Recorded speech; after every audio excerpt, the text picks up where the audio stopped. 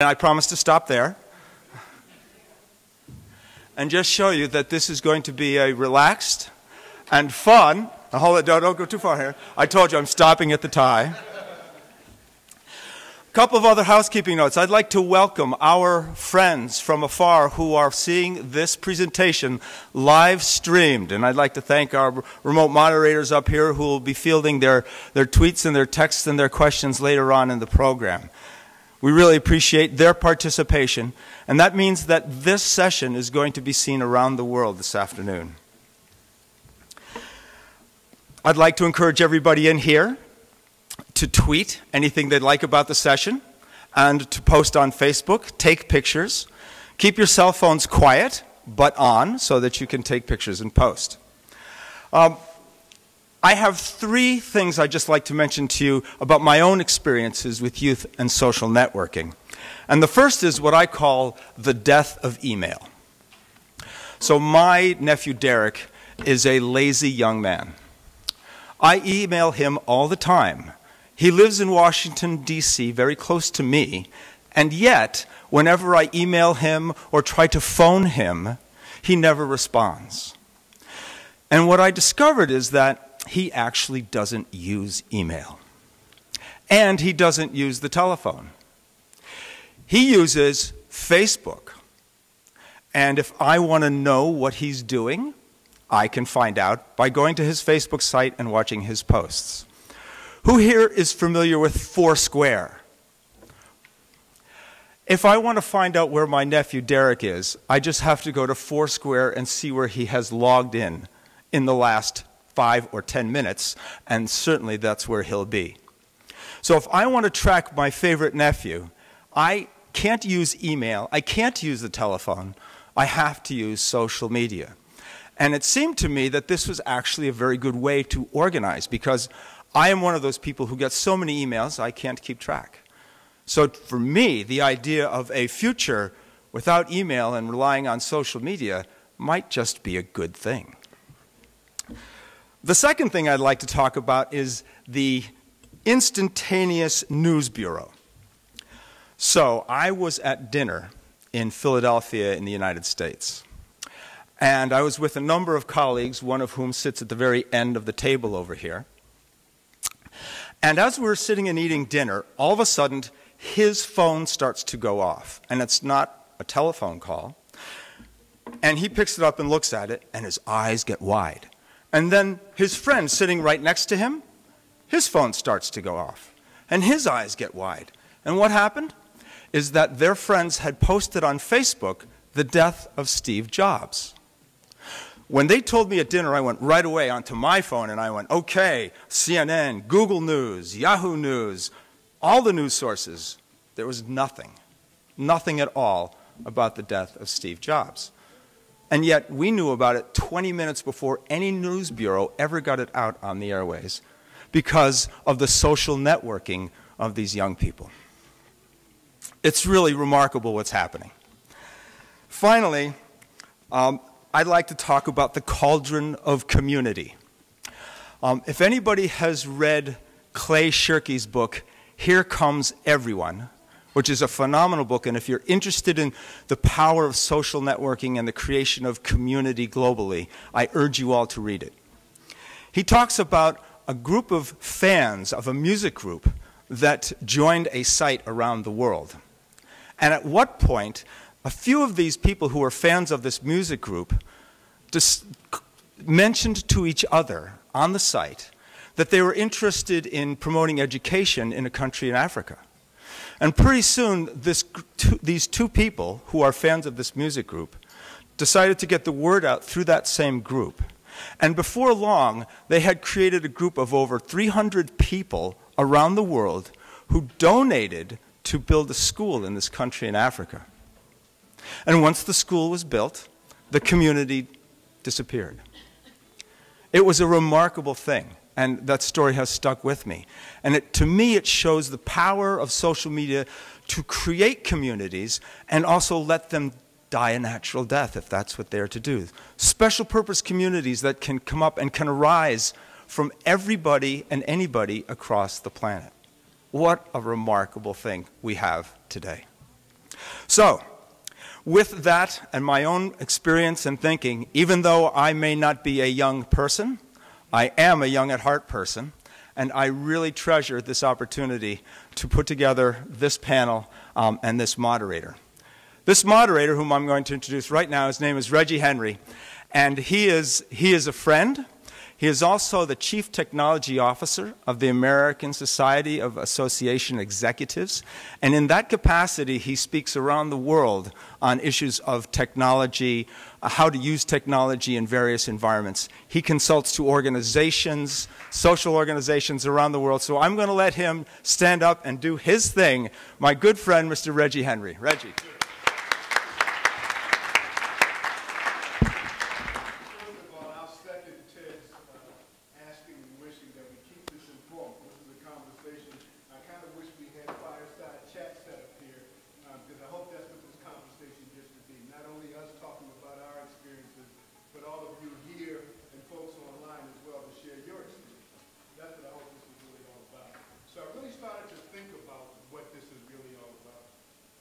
Reminds me to turn on my microphone here. I started to think about what this is really all about. And I think we're really privileged um, to be in the midst of what we're in right now. Because what we're in right now is that the world is fundamentally changing the way in which it communicates. Right now. That's where we are right now. I'll, I'll tell a couple of stories that, that both kind of shocked me to my roots, um, but also gave me hope about what we might um, be looking at in the future. First story, and Ted mentioned this already. I was speaking not too long ago to a group of students at the University of Maryland uh, near Washington, D.C., where I live. And so, in the middle of that conversation, one of the students raised their hands and said, We'd love to have a copy of the PowerPoint that you're doing. And I said, That's fine. After the session, everybody come up and give me a business card or write your name and email down, and I'll get it to you. And half of them looked at me like I was speaking some foreign language. And I said, Well, what's the problem? And one young lady raised her hand. She said, Mr. Henry, I'm not sure how old you are, but most of us don't have email addresses. And I thought to myself what that meant. And I didn't think about it just from a communicating to them point of view, because I said, Well, how do you expect me to get to them? Get it to you. And they said, Well, you have to write it on our walls. And I thought about what that meant. So anybody um, who, and, and the, then the, the third thing they said was, and we have to give you permission to write on our walls. We have to friend you at some kind of way. So how many of you here do marketing of some type? Okay? And I don't know about you, but, but our way of marketing has kind of been spray and pray. Everybody that you got an email address for gets the marketing, um, and you hope someone bites. Think about what it would mean to have to have somebody's permission to market to them. Because that's the world we're all going to be in pretty soon. That you have to have a value proposition so strong um, that people are willing to be friends with you to allow them to market to you. It's a different world than what we live in. This second story is about a niece I have. My niece's name um, is Dania. Um, lovely young lady right now. Okay? Wasn't always a lovely young lady, but lovely, lovely young lady right now. Okay, and she's got a brother, and her brother is three years younger than she is. And not too long ago, probably four years ago, um, her brother was having a, his annual birthday party. And I noticed Dania sitting off in the corner looking real sullen. And I said, Dania, what can possibly be the matter? Your brother's having his birthday. It's usually a happy time. And uh, she was about 14 then. So she looked me square in my eyes. She said, Uncle Reggie, I'm being cheated out of life. And I'm like, wait, whoa, whoa. I got a 14 year old young lady who's telling me she's being cheated out of life. So I said, so what's that all about? Well, Dania happens to be born on December the 26th. It's the day after Christmas. And she said, every year I'm getting cheated out of my birthday or I'm getting cheated out of Christmas and I don't like it one bit. and so I did what good uncles do. I promised her that until she became 19 or until I got uh, too far along that I couldn't pay for it anymore, that I would take her out and we'd buy a birthday present um, or a Christmas present. Okay? That next year we went to buy the present. So I get over to Dania's house and I said, Dania, what do you want for your birthday? What are we to get this year? And she says, I have no idea. And I'm thinking the worst. I'm, now she's a 16 year old. I'm getting ready to take her to the mall with an unlimited budget. Okay? Scary times for me. But she said, hold on for one minute. She got onto her social network and she said, I'm going out to the mall with Uncle Reggie. I have no idea what I want. And so I figured we'd be there five or 10 minutes. Well, it was two minutes. Then things started pouring in. And I looked at where they were pouring in from. And two messages came from South America. And one message came from Australia. And then one message came from the Near East in Egypt. And one message came from Iraq. And I was dumbfounded. 16 year old young lady. And I said, Who were these people? And she said, These people are my friends. And I said, How often do you talk to these people? She said, I talk to them at least once or twice a week. And I thought to back when I was 16 or 17 and who my circle of friends were. Um, quite the different experience. And so I asked one more question. I said, What do you talk about? You've got somebody in Iraq, you've got somebody in South America, you've got somebody in Australia. She said, Oh, normal things. And I said, Normal things like what? She said, Well, just the other day, the young lady in Iraq was telling us how she couldn't get to school because there was some insurgency going on in her neighborhood, and she heard gunfire all morning. And I said, She's 14, 15 years old with a bunch of other 14, 15 years olds in a community. They've never met each other face to face, and they're having that level of intimate conversation. And, and, and it both scared me to death, but then made me realize what responsibility we all have in this world with this medium that we call the internet and, and what we're leaving behind as a legacy um, for the folks following us. So, with that kind of thought in mind, that's what this is really all about. And, and for all of you who I'm looking at who are not quite as old as Ted and myself, um, you are what this is all about in the way you communicate, in the way you live.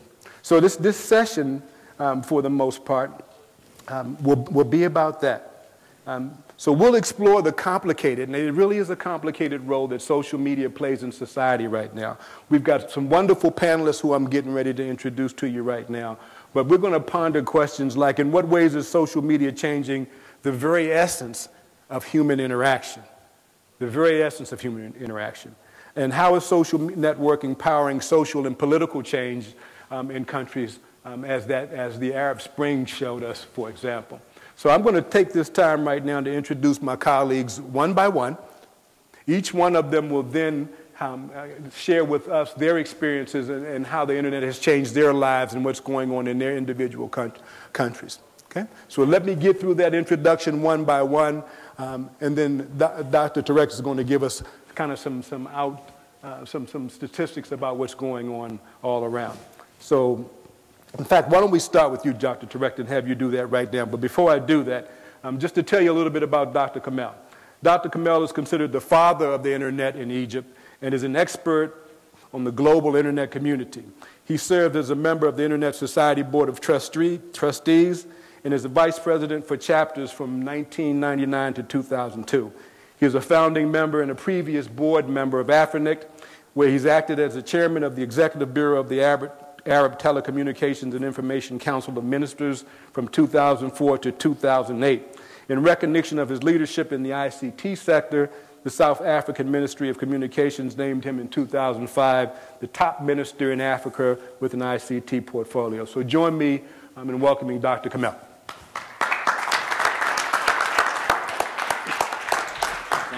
For this introduction. Please allow uh, me to say without doctor. I'm just Tarek. So during the conversation, let's use just the first name and without official titles.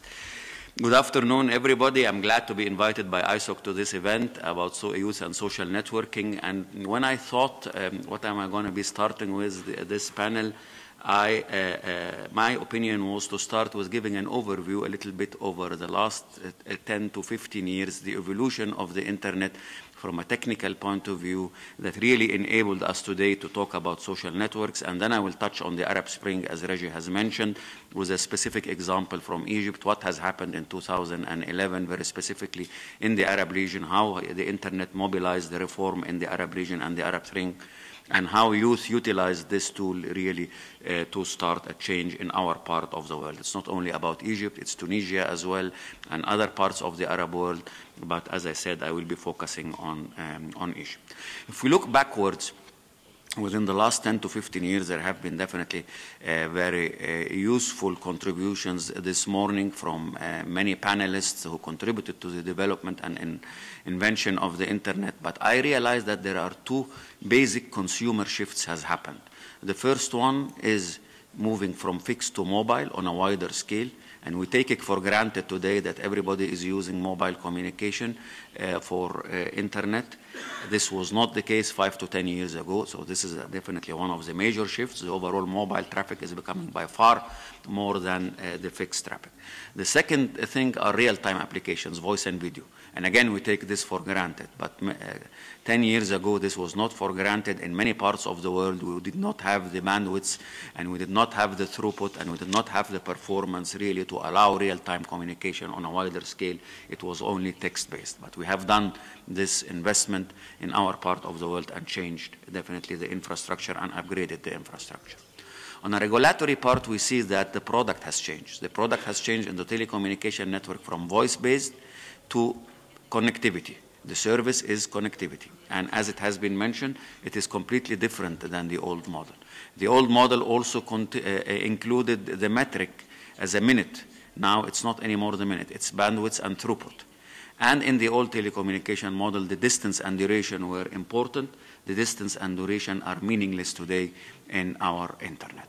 All this has triggered change, change in the utilization of the internet and specifically the introduction of social networks on a wider scale, not only in our part of the world, but globally. This has shifted using the internet on a wider scale, and in addition to that, another major point of change came, which is user-generated content. We used to have in the old model, uh, just at least in our part of the world, that the user is a recipient from one bigger organization, whether it's a government or a company or whatever, they are creating the content and disseminating the content, and the platform is used for content preservation and dissemination. But now user-generated content is de facto, and we take it as a de facto, but this was not the case in the past. Again, but this has changed the world, that user-generated content is, is becoming a very uh, important factor in the overall utilization of the network. Today's internet, as we heard this morning, has 2.3 billion users worldwide, more than 3 billion IP addresses, IPv4 addresses. We have 6 billion mobile users worldwide with a global 85% penetration. The fixed number of phone users is 1.3 billion, and that's the only thing that's not increasing in telecommunication in number, but it is decreasing, and they are becoming less and less. The broadband fixed users are around 600 million worldwide, and the broadband mobile users have exceeded the billion, 1.2 billion, and are expected to reach 3.8 billion by the year 2015. One of the highest growth rates in the world in information technology when it comes to mobile internet communication, and it is primarily because of the youth utilization and because of the social, of the social networks uh, worldwide. I tried to find out some statistics on the internet, what happens in one minute of internet and social networking.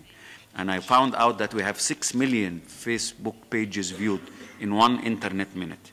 And we have 20 million Flickr photos being viewed in one internet minute.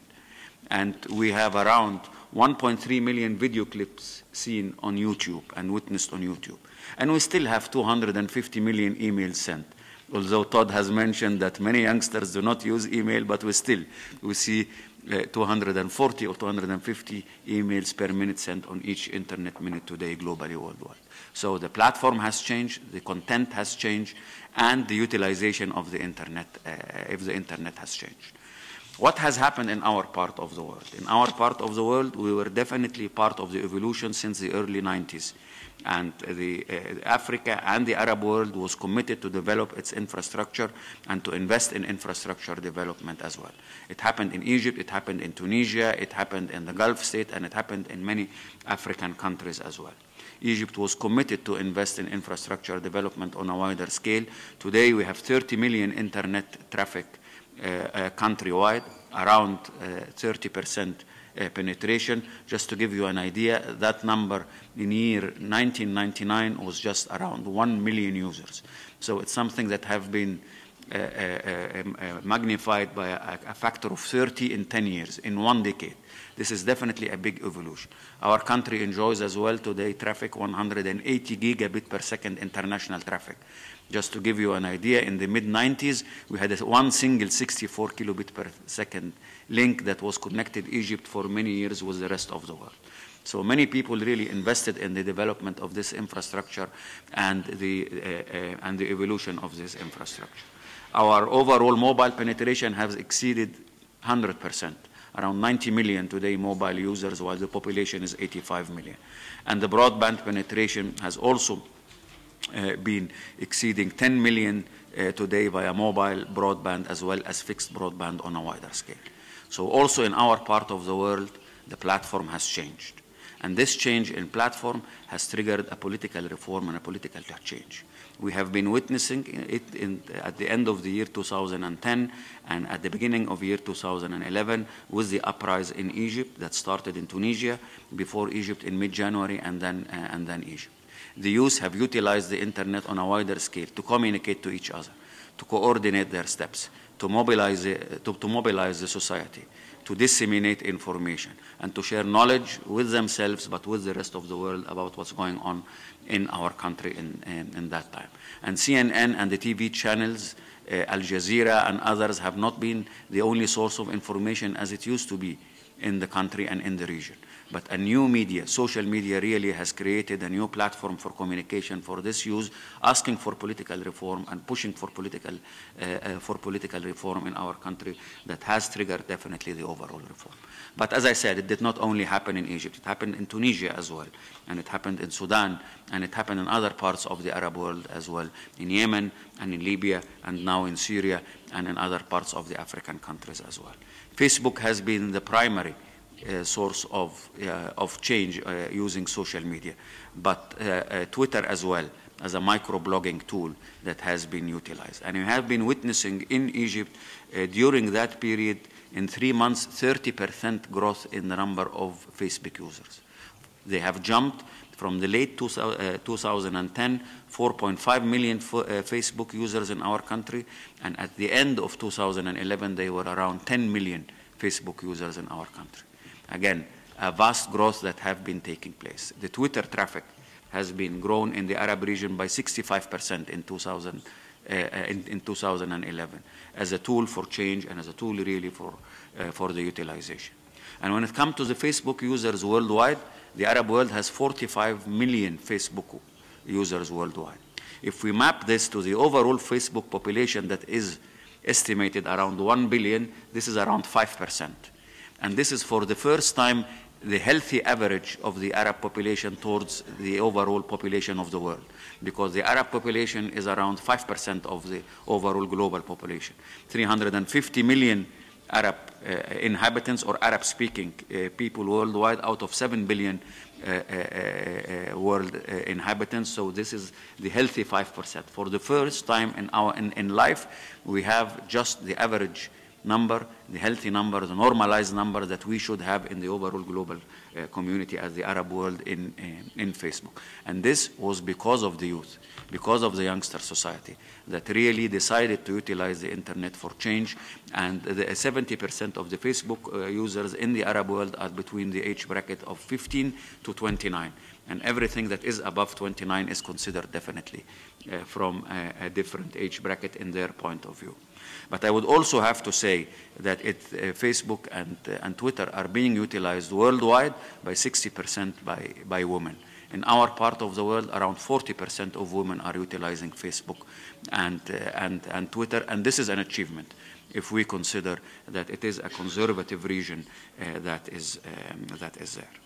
So definitely, as I have said, this tool have been utilized for change. They are looking forward now for the, for the further elections that will come, that will be utilized using, uh, uh, uh using social media. If you ask people today, uh, how would you uh, select a president that is not uh, uh, would you select a president that is not visible on Facebook and Twitter and social media?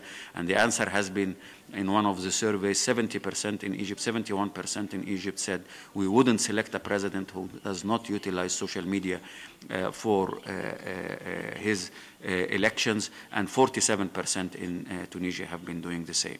90%, as I said, during the uprising in Tunisia and in Egypt have been utilized social media as their primary way of communication with the rest of the world to coordinate uh, the, uh, the efforts. I can't be talking about that without saying a final statement about what happened in our country concerning the internet cut because many people have asked about that in January 2011. Uh, I have been working for an affordable and open internet with many colleagues over the last 20 years in Egypt. Affordable, open, secure, and uh, internet, and free internet, and neutral internet.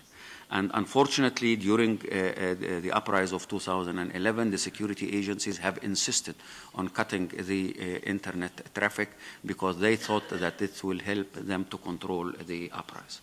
Again, unfortunately, the law allows that. The Telecommunication Act, they are looking now in changing the Telecommunication Act, allows the security agencies to uh, uh do that with the ISP when from their point of view they see a risk uh, to the overall situation. I tried to prevent that as much as I could but I was not able to do it. But at least from my point of view, I tried to restore the services as fast as I could because uh, this cut has been conflicting with my tenure and my career 20 years in open and free internet and affordable internet for the uh, Egyptian community. But I have learned the lesson.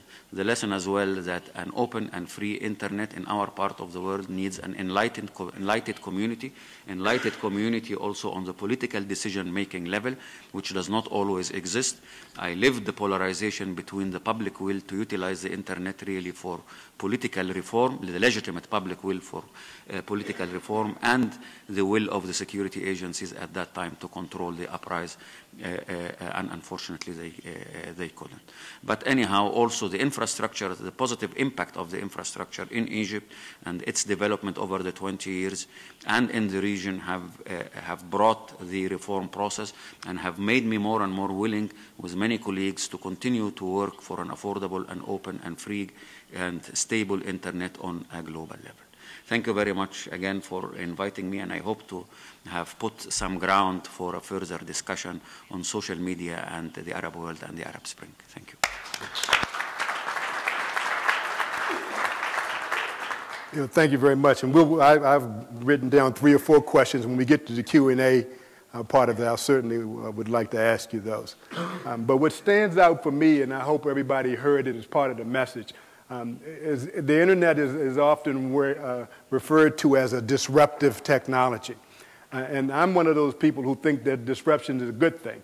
Um, but it's a disruptive technology. And you think about um, the way that in, in, the, in the Arab Spring, um, that technology um, had a lot to do with, with the, the collaborative efforts of young people to, to kind of move things in society, not just move things in their own circles, but to move things in society and then to move things in the world. So um, just keep those in mind as we're going. Um, we're also honored to have Slim Amamou here with us. And Slim is the uh, Chief Technology Officer at ALIXSYS. And Slim is a computer programmer, entrepreneur, and blogger. Um, he co-founded the web agency Alpha Studios in 1999 and ALIXSYS in 2008 as a web services company for enterprises. His writings focus on the modalities and mechanisms for the emergence of the new global society of the internet. He is also known for his positions against censorship and intellectual property and fights for the neutrality of the internet. In 2010, Slim was arrested for organizing a street protest against internet censorship, and then again in 2011 during the Tunisian revolution on the background of anonymous attacks. He was appointed Secretary of State for Youth and Sports in the new Tunisian interim government three days after getting out of jail. He resigned after the return of internet censorship. So Slim will be uh, certainly um, happy and honored to hear your story. Thank you.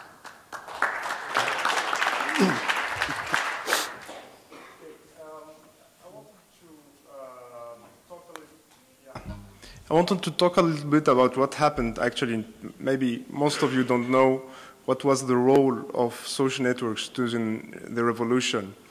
Uh, you have to know that uh, the amount of censorship that was in Tunisia was um, com comparable with what's happening in China.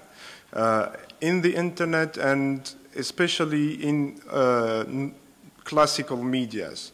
When um, uh, people started um, protesting in Sidi Bouzid, a small town in Tunisia, uh, no uh, classical media talked about it. No TV, no uh, radio, no uh, newspapers. So we took on ourselves to report on what was happening in Sidi Bouzid, uh, using different uh, strategies and tactics because, like in Egypt, they cut also internet from the town of Sidi Bouzid at some moment. Uh, uh, and we reported on what was happening there, the riots, the fighting with, with the police, the people that uh, get killed, uh, etc. And that got um, a snowball effect because we got the videos out of Sidi Bouzid and uh, people started protesting in different other towns in uh, support of Sidi Bouzid. And not only, and that's important, in different towns in Tunisia. For example, one of the first uh, cities that protested in support of Sidi Bouzid was Cairo, even before Tunis, the capital. Uh, and we had support from all over the world. Uh, so uh, what happened is uh, it is commonly called the network effect, but in, in reality it's like a social network effect. Uh, it was on Facebook, on Twitter, and uh, this snowball uh, got more and more huge, and soon the, the whole country was protesting. Uh, but in the same time, and that was very interesting, uh, that built like uh, uh, a collective consciousness. We were constantly synchronized, people all over the world, uh, in Tunisia, in France, in Egypt, were constantly on the internet uh, keep, keeping up with the news and uh, organizing different things in different parts. When I got arrested, I got huge support from all over the world.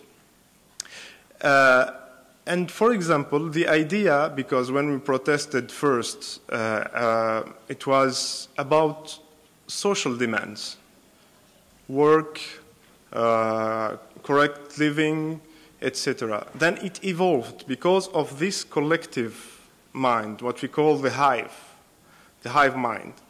Uh, in one idea, we have to take down the regime. And nobody got this idea first. It's everybody. This slogan uh, we had in, during the revolution, which is Ben Ali dégage, Ben Ali, which was the dictator, uh, everybody is asking who got this idea. Actually, nobody. And everybody got this idea at the same time.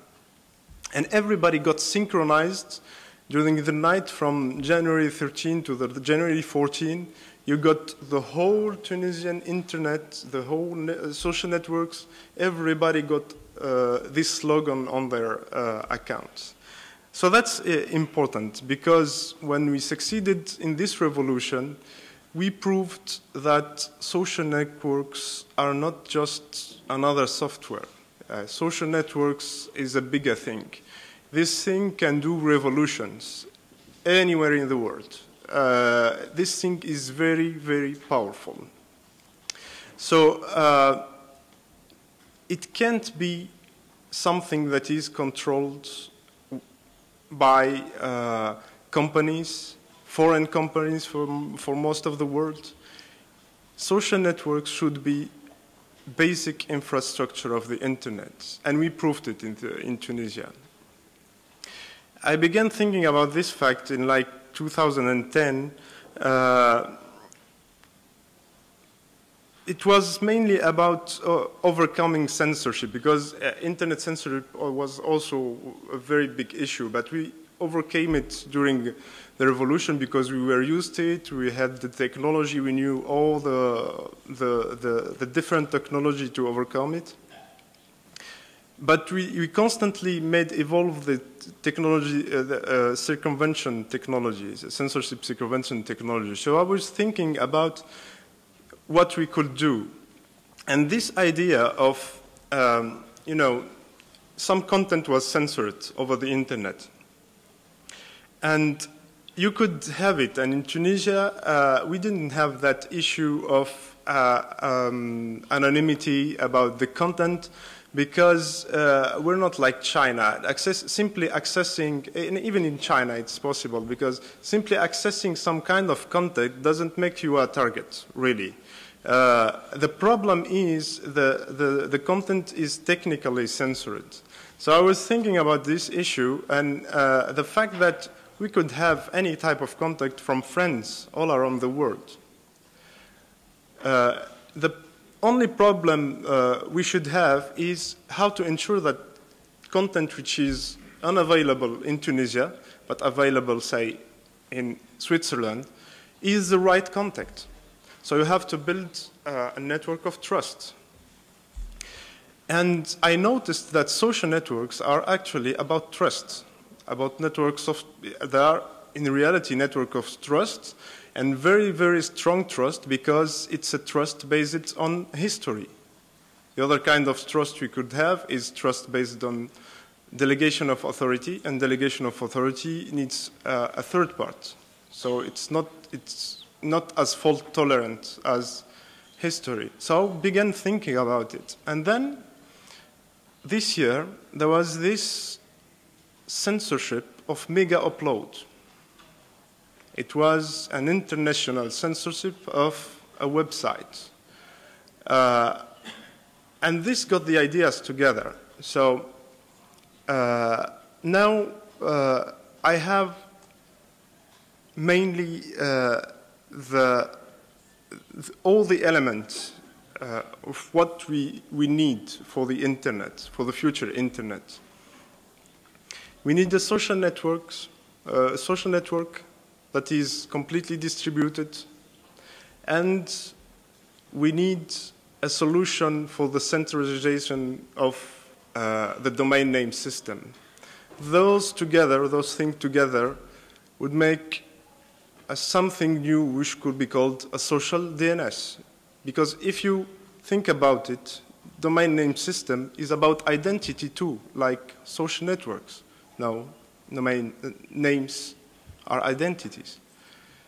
So we could build this technology, which is at the same time a DNS system and at the same time a social networks on which we could build trust and in, on which we could build be, because you know trust is the foundation of societies on which we could build future societies and on which we could give by which we could give the power to the people again and this is what I'm working on right now.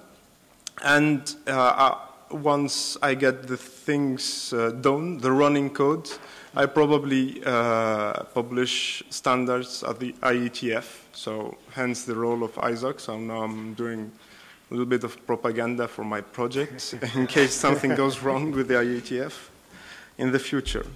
So that's the point. Uh, I think that uh, that's my uh, argument. Social networks are, uh, should be uh, uh, a basic infrastructure of the internet because it makes revolution. So maybe we should discuss these issues later. Thank you very much. Thank you.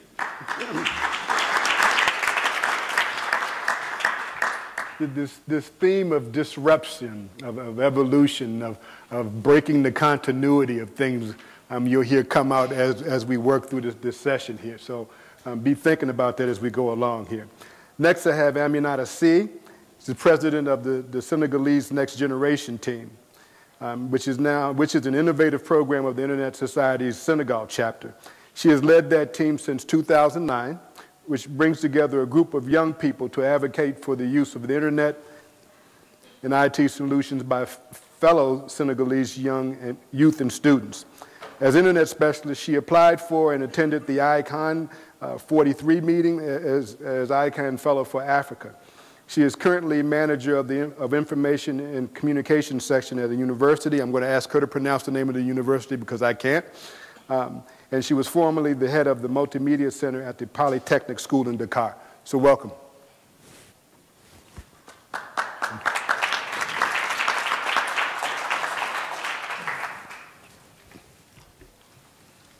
Uh, thank you, Henry, for this presentation. Uh, uh, I will speak in, uh, in French. Excuse me.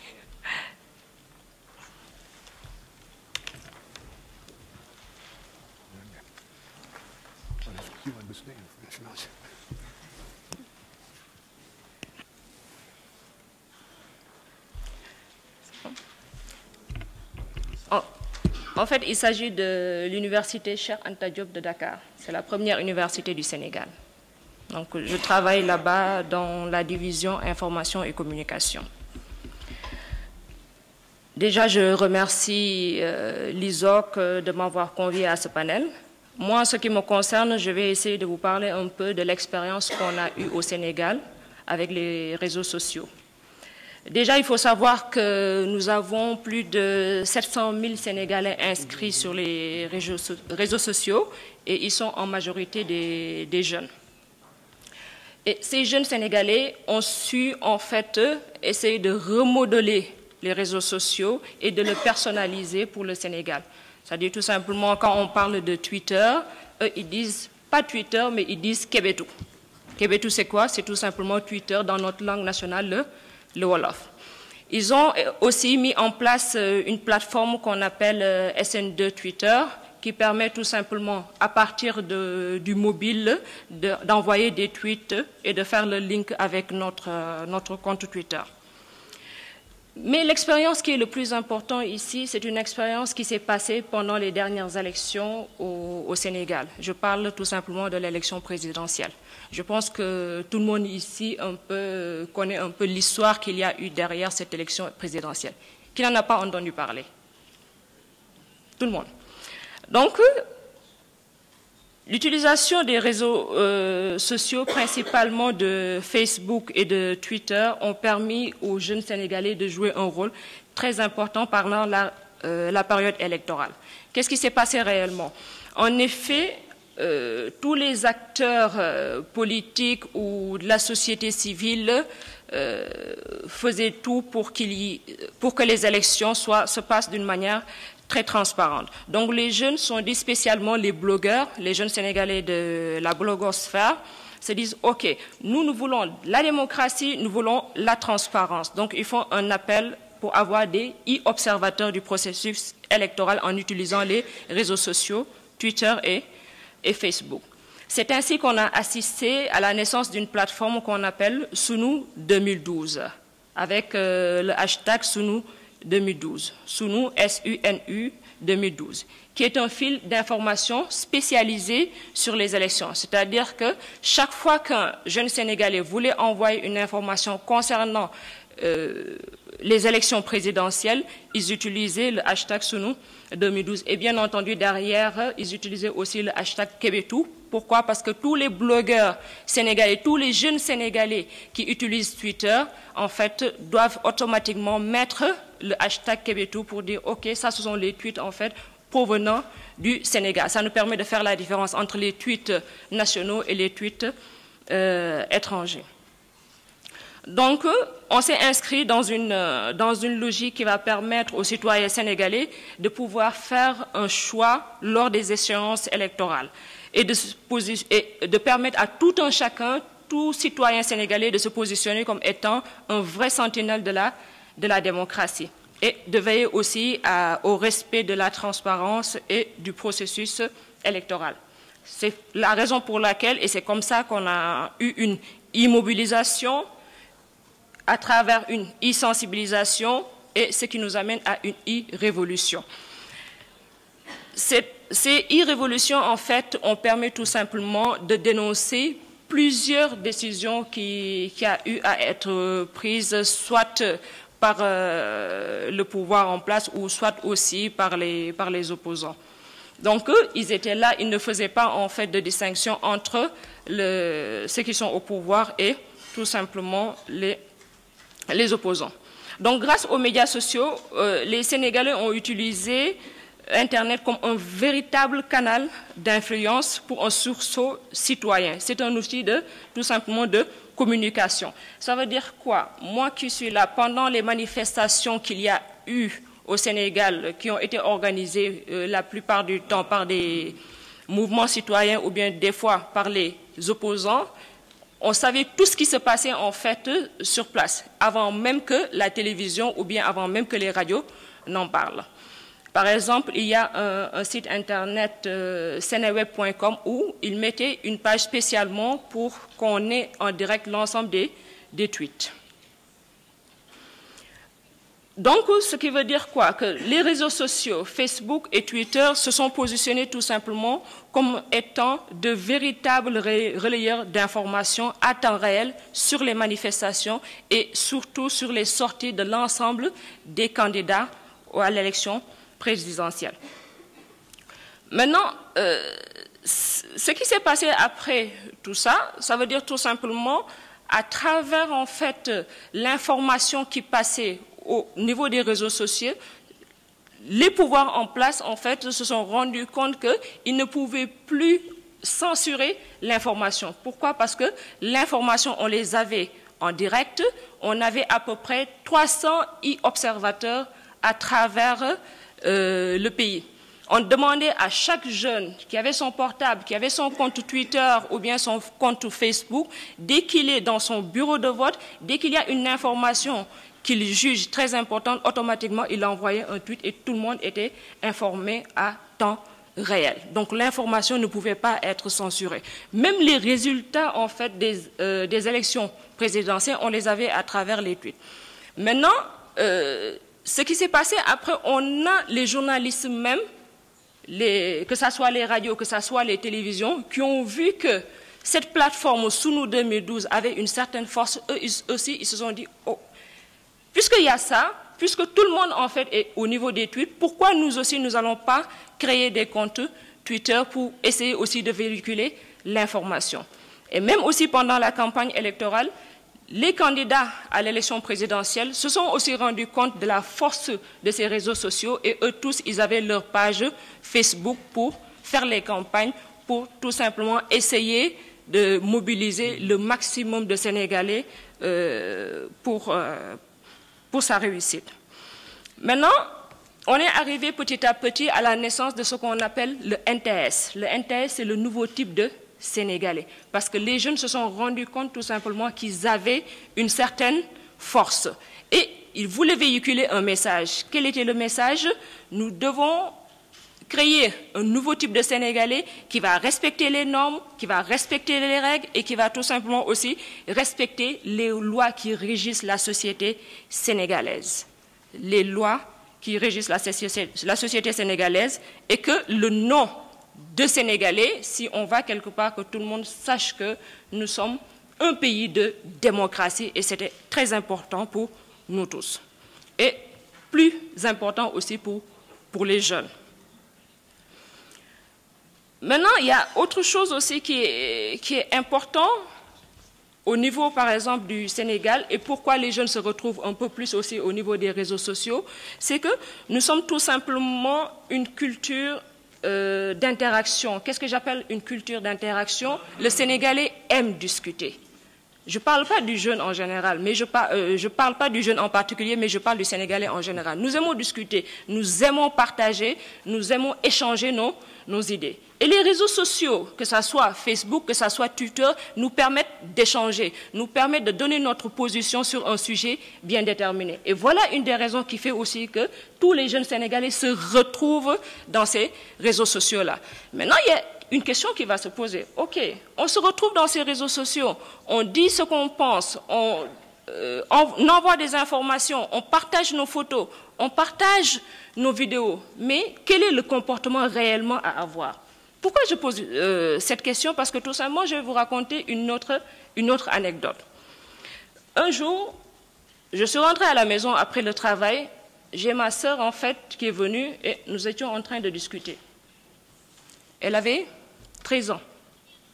Elle me dit, Nata, je dis oui, salut, qu'est-ce qui se passe? Elle me dit non, il y a une élève de mon école qui a été mise à la porte. Je lui demande, ah bon, pourquoi? Qu'est-ce qu'elle a fait? Elle n'était pas contente d'un de ses professeurs, donc elle a écrit sur sa page Facebook qu'elle n'était pas contente sur son professeur. Donc je ne vais, je vais pas vous dire exactement ce qu'elle a écrit sur sa page Facebook. Malheureusement pour elle, la directrice de l'école est tombée dessus et elle a eu une sanction. On l'a mis, en fait, on l'a exclue de, de l'école.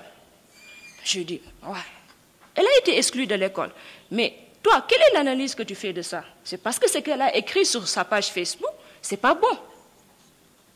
Mais derrière, moi, la question que je me pose réellement, c'est qu'on a les jeunes qui utilisent Facebook, on a les jeunes qui utilisent Twitter, mais réellement, est-ce qu'ils sont conscients de l'information qu'ils doivent mettre sur ces pages-là, sur l'information qu'ils doivent partager avec leurs amis. Ça veut dire derrière qu'il y a un travail que nous devons faire envers ces jeunes-là, pour leur dire exactement ce qu'il faut faire et ce qu'il ne faut pas faire quels sont les comportements à avoir?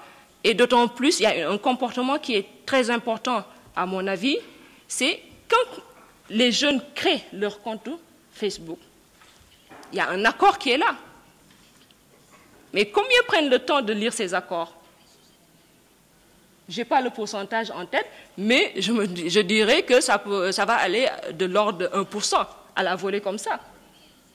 Mais ça veut dire que derrière ces accords renferment des éléments très importants sur l'utilisation des informations que les jeunes vont partager en, en ligne. Donc il faut les conscientiser à faire la part des, la part des choses. Qu'est-ce qu'il faut mettre en ligne? Qu'est-ce qu'il ne faut pas mettre en ligne? Ils s'y retrouvent. Pour eux, ce qui est important, c'est que tout simplement, ils se retrouvent au niveau de ces, de ces réseaux sociaux. Ils ont quelqu'un avec qui discuter. Remarque, beaucoup de jeunes, ils ne peuvent pas rester une heure de temps sans pour autant voir ce qu'il y a sur, euh, sur leur page. Quelles sont les informations qui, ont été envoyées? S'ils n'ont pas leur ordinateur pour se connecter, tout le monde cherche des euh, appareils, des téléphones de dernière génération où ils peuvent se connecter par Wi-Fi ou bien même la 3G que proposent nos opérateurs pour voir ce qu'il y a réellement derrière ces comptes Twitter et Facebook. Donc il y a une grande question qui se pose là. Maintenant, derrière cette sensibilisation, qui doit s'en occuper? C'est moi? C'est M. Ted C'est M. Henri C'est qui? Donc il faudra qu'on puisse y réfléchir pour savoir dans chaque pays, dans chaque communauté, qu'est-ce qu'il faut faire, quelles sont les actions qu'il faut faire?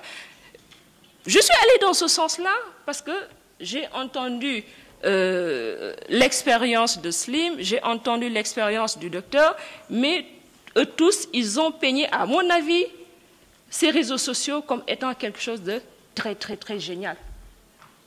Mais il y a une question qu'il faut se poser. Est-ce que c'est si génial que ça? Quels sont les avantages? Quels sont les inconvénients? Voilà un peu moi ce que j'avais à dire par rapport à ces réseaux sociaux-là. Merci beaucoup.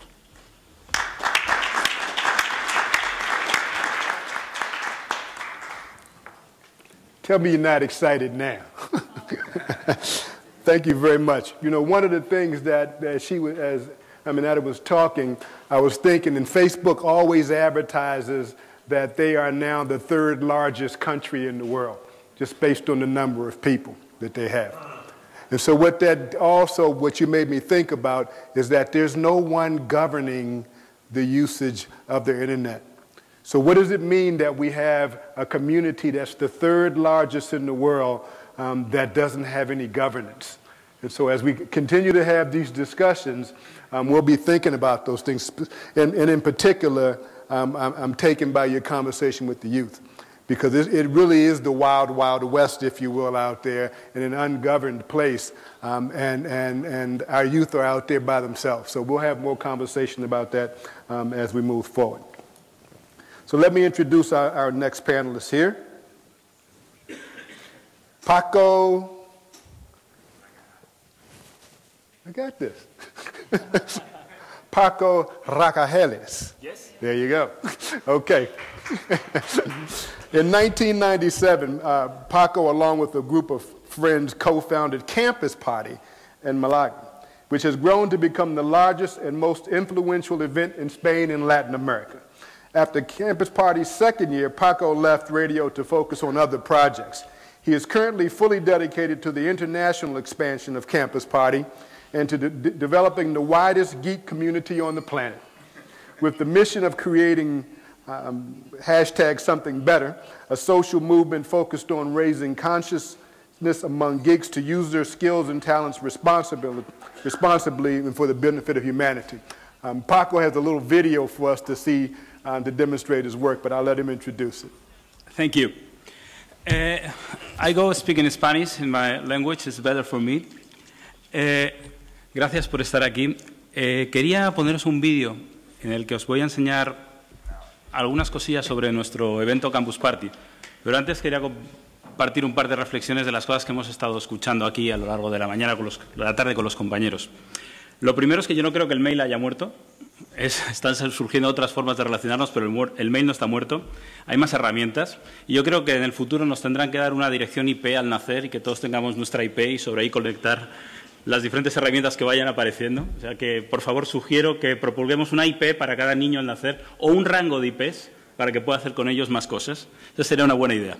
Bueno, en el décimo aniversario de Campus Party hace ya muchos años, Stephen Hawking nos dijo que se estaba creando una nueva conciencia mundial gracias a Internet.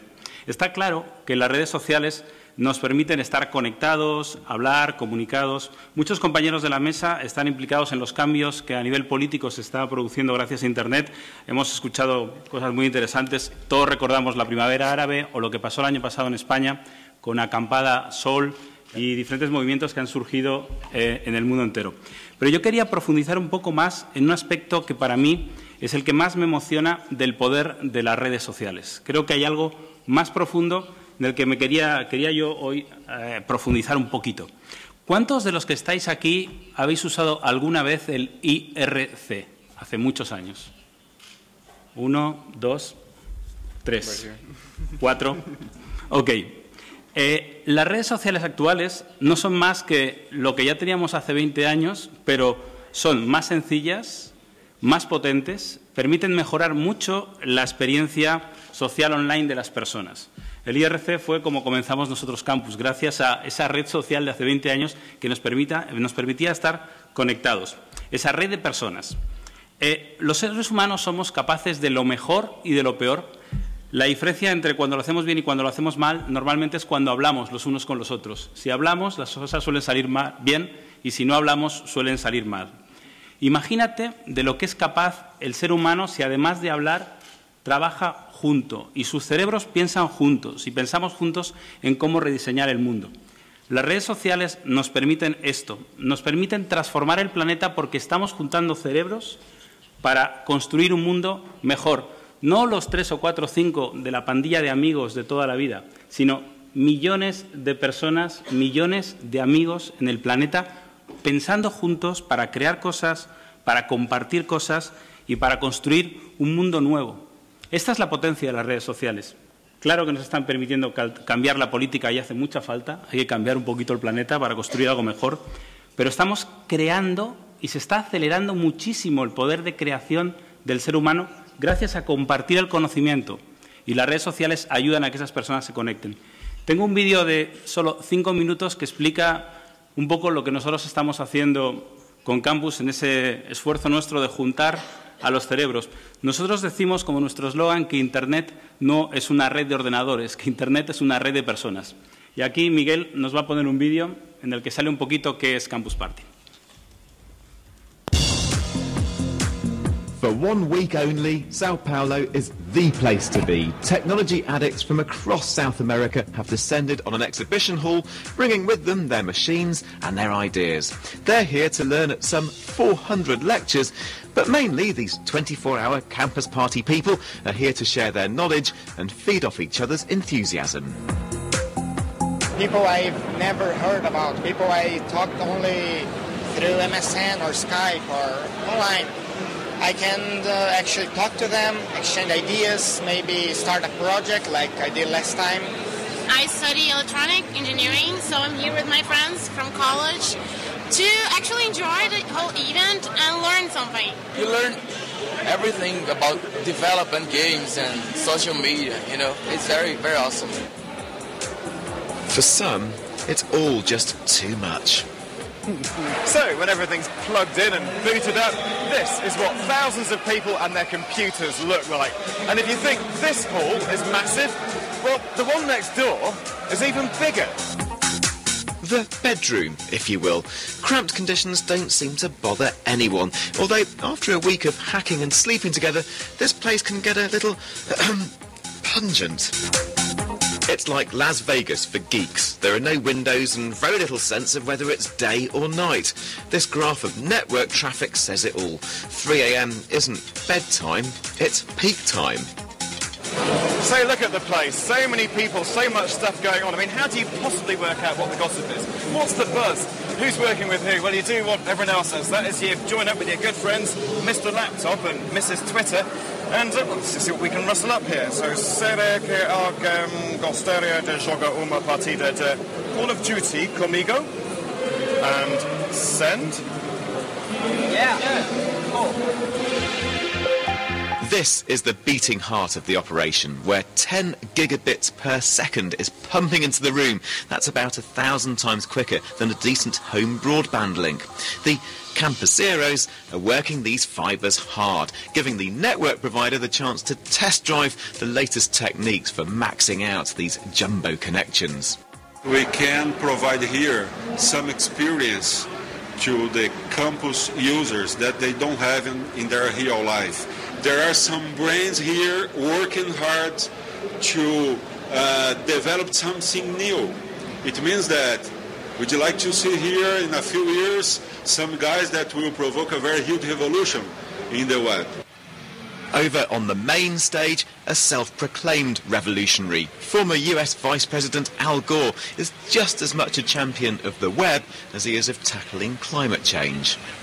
Truly starting with the World Wide Web, this new ability for individuals to connect to one another digitally and to explore a universe of knowledge at their own pace according to their own curiosity and to connect to others who had common interests has reawakened the possibility that we can bring democracy to vivid life. And the man whose bright idea allowed us all to connect online has jetted in to survey the proceedings for himself. I've learned that the most exciting thing about all this technology is that people do with it things that you could never have imagined. And here in South America, they know all about collaborative coding. The open source movement is huge here. As glossy as anything from the big games companies, these titles are open source and they're free. The same applies to the Linux operating system. It's especially widely used in Brazil, so when one of its founding fathers pays a visit, no wonder he's mobbed like a rock star. We do a lot of work over the internet, but my observation has been that when people get together in a room and can point and you know talk to each other and share food and share ideas, that they do it at a much more rapid pace, and also arguments that may have gone for months over the internet are quashed in a matter of minutes. Now, don't go thinking it's all about coding. Campuseros like getting their hands dirty too. A pimped up PC is essential. This one's super cooled and encrusted with LEDs. Very bling. In fact, you can do spreadsheets on it as well, apparently. Elsewhere at the party, things are getting seriously innovative. After 30 years of computing in two dimensions, I'm getting the hang of doing it in 3D. Hey people, I'm on TV. Well, on a webcam, on a normal tablet PC, normal webcam on the back of it. A normal table down here with my BBC Pass. Now, using the tablet, I'm about to do something just a little bit cool with this stylus. It's gone, airbrushed out in real time on this tablet. Fantastic. For the time being, it's just a student project, but one day this software could be removing brand logos on live TV, so you may just see it in action, uh, or not. And with this experimental hardware, you can channel your inner geek. Just twist the dial to select a bit of Steve Jobs or Bill Gates, and you're away. And this is definitely one of a kind. The simulator's been created by two brothers in their spare time. Software and player are strapped together on a rotating gimbal. Uh, it's not as easy as it looks. I'm stalling. I don't think I'm stalling, I think I'm dying. Those of you at the back, I apologise, you may have spilt your tea and coffee by now. There's no shortage of energy in here, whether the power's on or off. And these are certainly a creative bunch. In fact, they've uploaded more code, photos, video and blogs this week than they've downloaded. The party might be over for another year, but it's left the net a slightly bigger and brighter place than it was before. Esto es tan solo una pequeña representación de lo que está sucediendo en el planeta, que aquí se ve muy claro porque hay 8.000 campuseros juntos, pero hay millones de personas, millones de gentes jóvenes que están colaborando en crear nuevos proyectos y revolucionando el planeta. Y para mí esa es una de las utilidades que tienen las redes sociales más allá de que la gente se pueda conectar y charlar. Van a, van a cambiar el planeta y lo están haciendo juntos y eso es maravilloso. Gracias.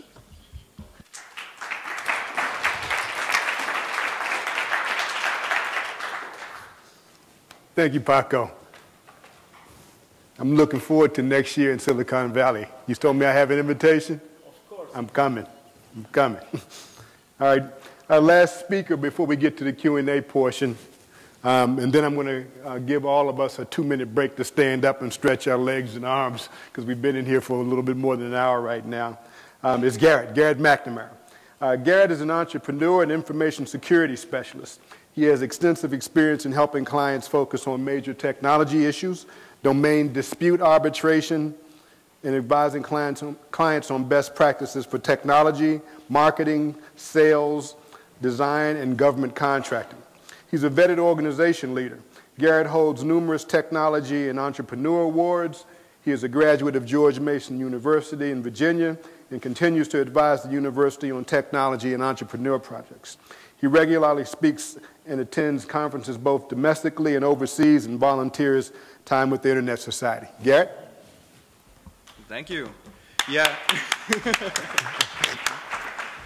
feel uh, feel like I got to follow up with everyone here with uh, their bios, but yeah, I'm here to um, to represent youth and those young at heart.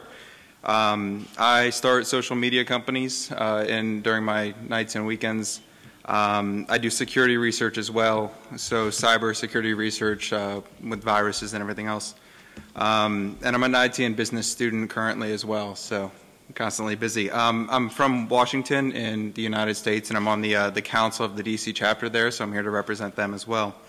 Um, and I'm here to represent internet business, so kind of like the, the revenue and the money side of um, a lot of this collaboration, how it could be leveraged by, by companies to better interact with um, their customers and to serve them better uh, through, you know, for instance, through like quality assurance or user feedback. Um, I'm here because the internet is a, a, great equalizer, so it's a, it's a level playing field for everyone. Um, the importance and reliance on the internet is growing. I mean, it's, it's already here today, we know that, but it's, it's growing every day. It's becoming a more important part of our lives, so it's not something that is ever going to go away, and it's not something we could ignore. Uh, this is something that we're all invested in, we need to pay attention to. And I, just like everyone else in this room, is an internet citizen, so I feel like I need to take my part and be involved. Um, I mean, on the, from the business side of things and from the networking and career um, side, uh, a social media account can be both an asset and a liability. Um, you can very quickly show that you know something and you are a subject matter expert or you're an up-and-coming subject matter expert in your field, and you can very quickly um, and mistakenly take all that away.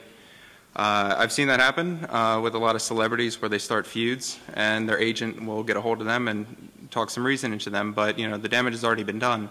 Uh, they can delete the messages, but their, their followers have already seen everything. Um, for an individual if you are working to like network and especially this is particular to people who are graduating and just about to apply for their first job. Um, one of the biggest pieces of career advice I keep hearing again and again is to kind of blog and to write in your field and become a subject matter expert. And I see uh, social networks being used in addition to blogs quite a bit to amass a following of not only other people in the field but also the subject matter experts in the field. Um, and that's why that's something I think that companies look into when they're making new hires um, because not only are you getting a good candidate, but you're getting the ears of all the other people that follow them. Um, and if, I mean, you're hiring someone that believes in your company, so you're getting their public endorsement as well because if they're interested in your company, they're interested in your field, they're going to be posting about what's going on. Um, so they're going to alleviate, well, it's free marketing. so they're going to alleviate from your uh, marketing budget.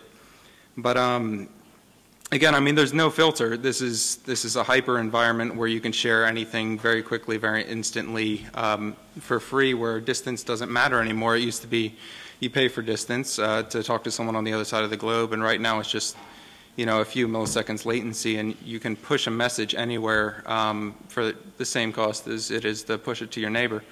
So um, just be, it's it's something that you definitely need to kind of embrace is very, very powerful. It's not, it, it's not to be viewed as a toy, um, I don't think, if, you if you're concerned about your image and everything else. So that's, uh, that's basically it. I'm here to uh, represent the, the business side of things. All right. Well, thank you, Gary. So we're going to do some, some Q&A, but why don't everybody just take a couple of minutes, stand up, stretch your arms, stretch your legs. You've been sitting in that same spot for, for over an hour now. Uh, don't leave the room now, but, but do stretch and get your blood flowing a little bit, and then we'll get right to questions and answers. And I have a I couple have of questions that I want to leave ask. the room. Huh? Can I leave the room? If, only if you come back. Be right back? All right. Okay, we'll start to formally start the Q&A process here. Um, before we do, I want to just relate to you a couple of things that people walked up to me um, during the, the break-in set. Um, one of them reminded me of, of our responsibility um, in the face that we've got multi-generations using the internet. Um, and I was telling her about the last time we had a going away party for our librarian. I looked around our organization and we had people from five generations working. And one, I remember one of the young ladies um, using Outlook and asking me what the CC stood for in the email. And I said, the CC stands for carbon copy. And she says, well, what's carbon? and I said, well, when you used to use type, and I said, oh, forget it. oh, forget about it. But, it, but, but um, the, the fact that we have older generations um, in the workplace, people who were not digital natives, people who were born long before there was anything um, like the internet came up in our conversation. And the young, the young lady right here said she was going to tell us a quick story, so I'll have her um, tell us a quick story if I can find the microphone here. You got a mic right there at your desk. So turn your mic switch on and tell us the story that you told me. My name is Christine Maxwell. I'm a former direct, uh, director on the board of uh, the Internet Society. And uh, we were having a chat about, uh, well, in my case, I, I, told the story about my 91 year old mother. And uh, she always made it her business to have three computers uh, because she traveled a lot and she always had her little bag of tricks. And it was a serious nightmare. But she was absolutely intent on being with it. And she wanted to get on YouTube and she do her shopping.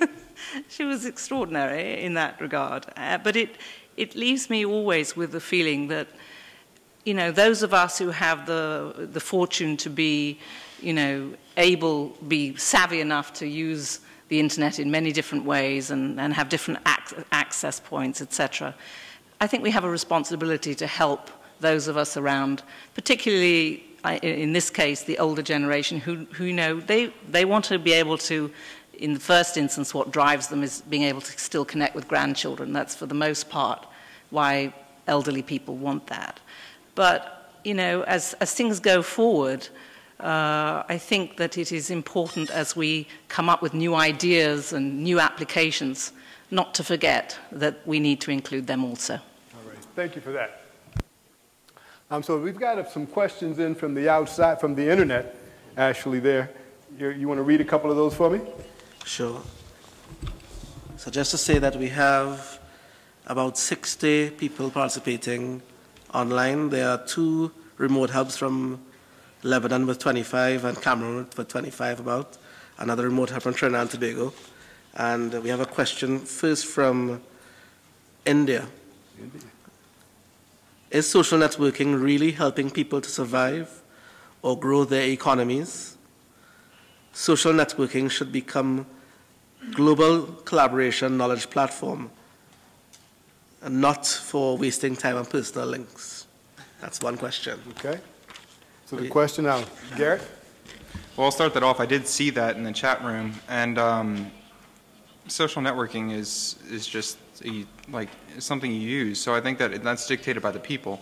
I mean, we got a couple a couple questions. One was about content um, and the relevancy of content. Maybe it's it's stuff that you use just to waste time. But um, how are you gonna? I mean, how are you gonna get away from that? Are you gonna have people? What I'm getting at is like censorship is probably the only way to combat that? And do you want censorship on your social networks? How are you going to filter out relevant content from irrelevant content beyond just following, you know, people that you trust based on trust? Um, but I don't, I don't see an easy way to fix, you know, filtering out noise from something that can make you or your community better. Okay. Anybody else want to answer? Slim? I, I, wanted to say that um, social networks are, are really, I, I, wanted to emphasize that uh, social networks are really very, very basic infrastructure for building society. I mean, it's uh, uh important for democracy. Uh, you can uh, build, uh, it's important for governance. Uh, so that if you're, I mean, she, she's saying that how can, can it help us survive? If you are an have uh, some plants or we are doing agriculture, it's important to be connected to other agriculture, uh, to other people working on agriculture. It's important to be connected with uh, the, the weather forecasts. It's important to be connected with all that stuff. And all that stuff is, uh, is uh, possible using social networks because it connects people. So you could know that uh, a storm is coming from the, uh, the other uh, town over there and make the, the right decisions about that fact. And uh, so yes, it's, it's important for surviving too.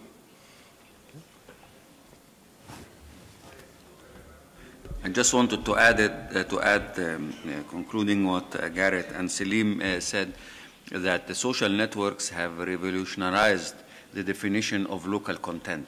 Uh, we used to define local content even on the internet maybe 10 years ago that it's in the same language. The proximity to each other are using the same content and local content. This now definition is not valid anymore. It has been revolutionized. It is a content that is relevant to a certain community. And this has even changed the definition of local content compared to 10 years ago when we were talking uh, just about uh, web content and websites.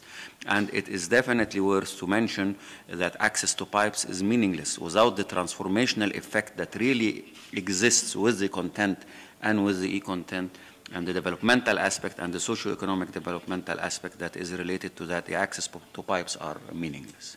Thank you.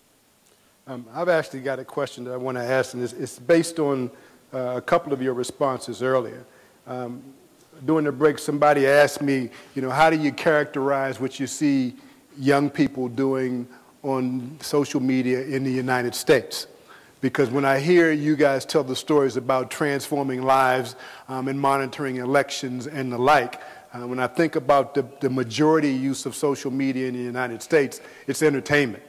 It's entertainment, it's, it's friends, it's that sort of thing. And somebody asked me how to to characterize it. And the best way I can think of it is people living their lives out loud in, in, in, in ways that they never did before.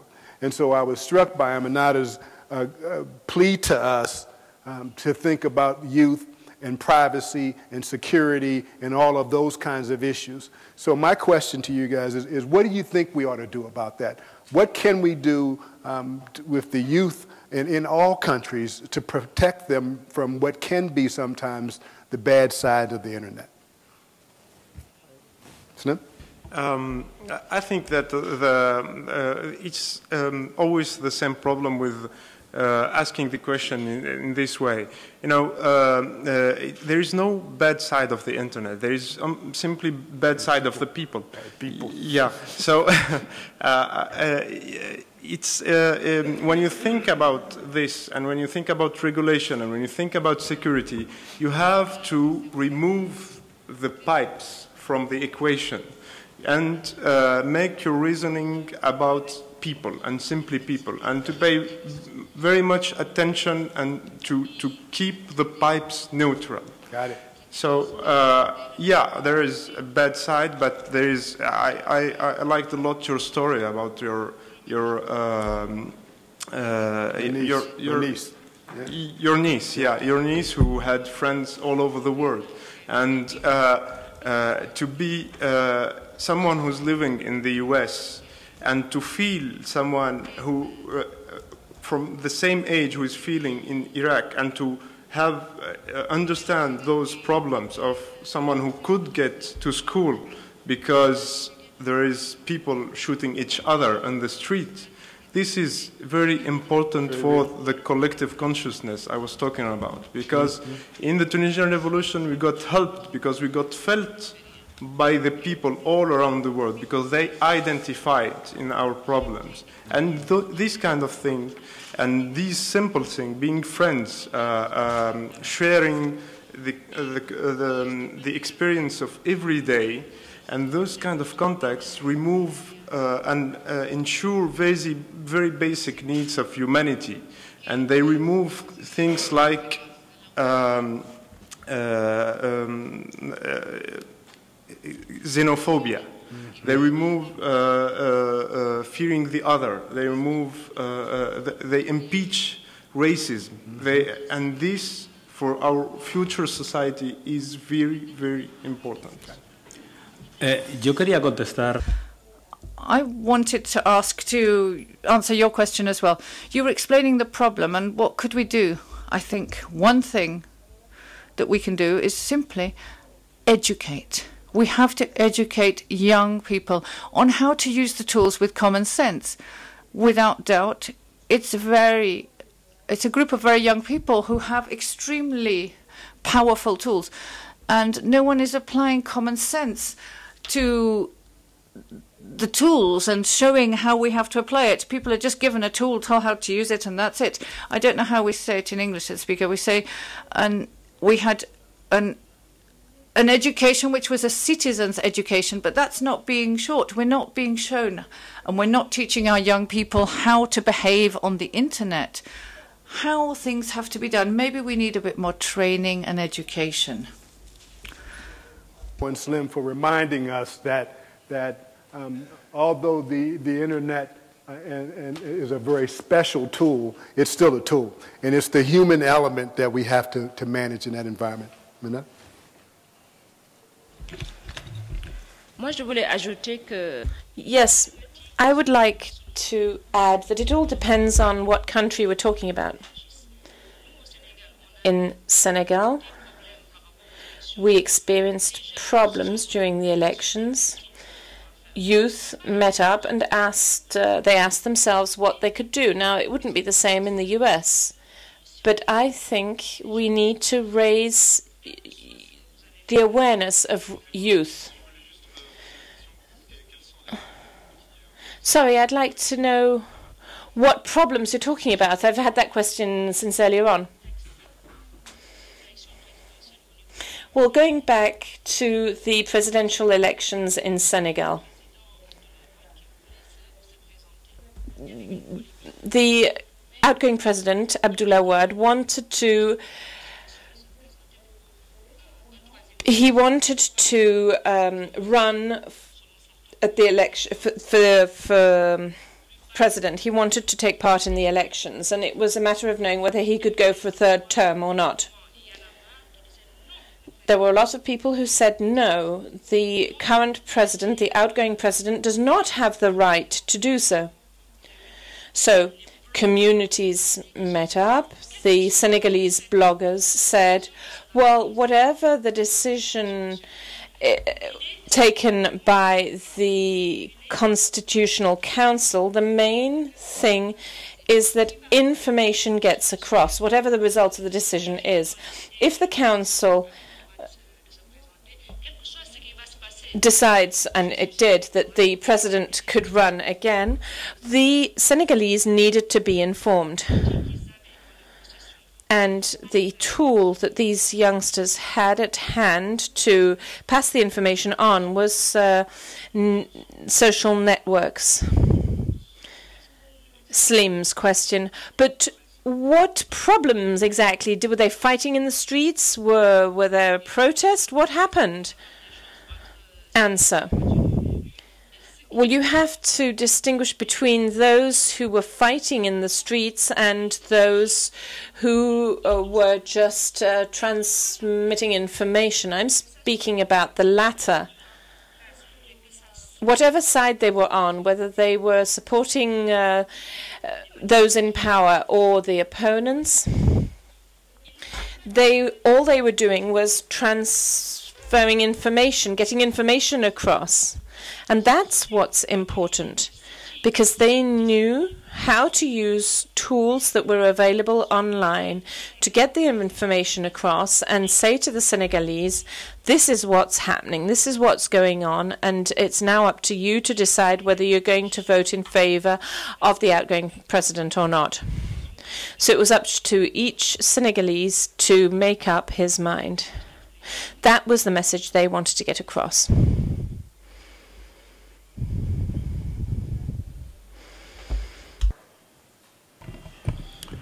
Je vais, euh, je vais intervenir. Thank you. I'll speak in French.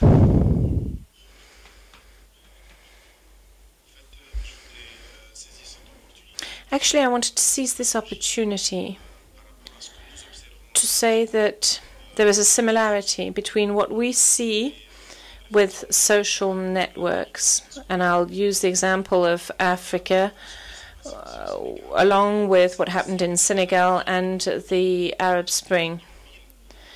And if you, you can actually establish a similarity with uh, mobile phones. What has happened in Africa has gone well beyond what happened elsewhere. Why?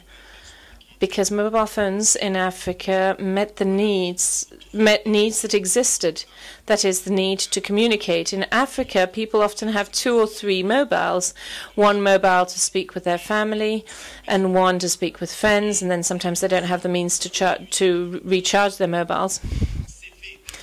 But it all happened overnight, uh, not having any mobiles at all, and then suddenly using mobiles on a daily basis because there was a need there. So now, looking at the internet, maybe youth throughout the world is using a tool not because we force them to use it, but because it's youth's way of adopting that tool. So when we speak of internet for all, I would say internet for everyone, for everything, because the use of internet is being reviewed on a daily basis. It's a matter of seeing how to ensure that a correct use of this internet is is made.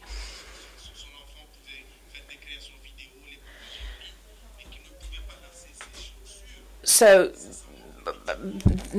yes, there may be examples of kids who can put a video online and are incapable of tying their own shoelaces.